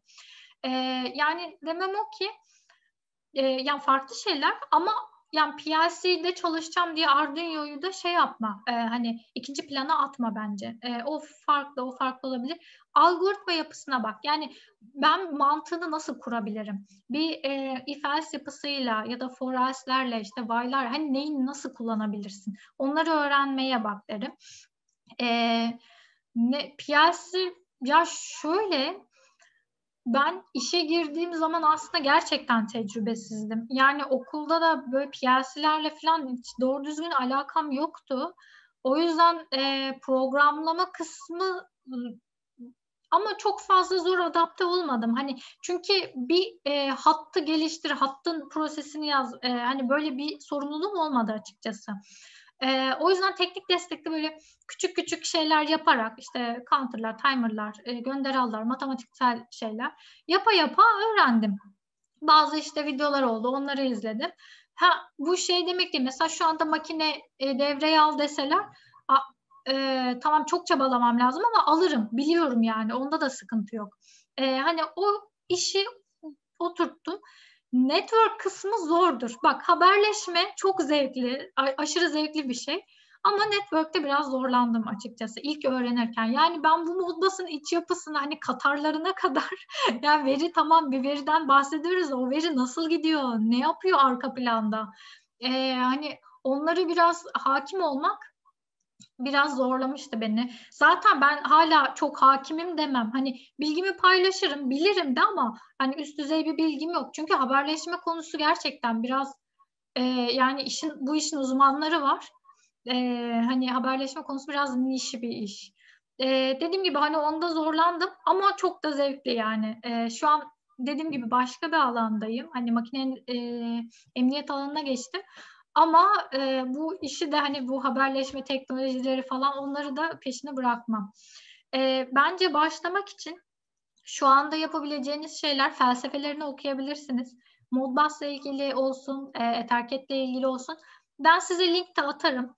E, zaten e, o slaytları gördüğünüz hep çeşitli sitelerden e, aldım, e, al, alarak oluşturduğum bir slayttı.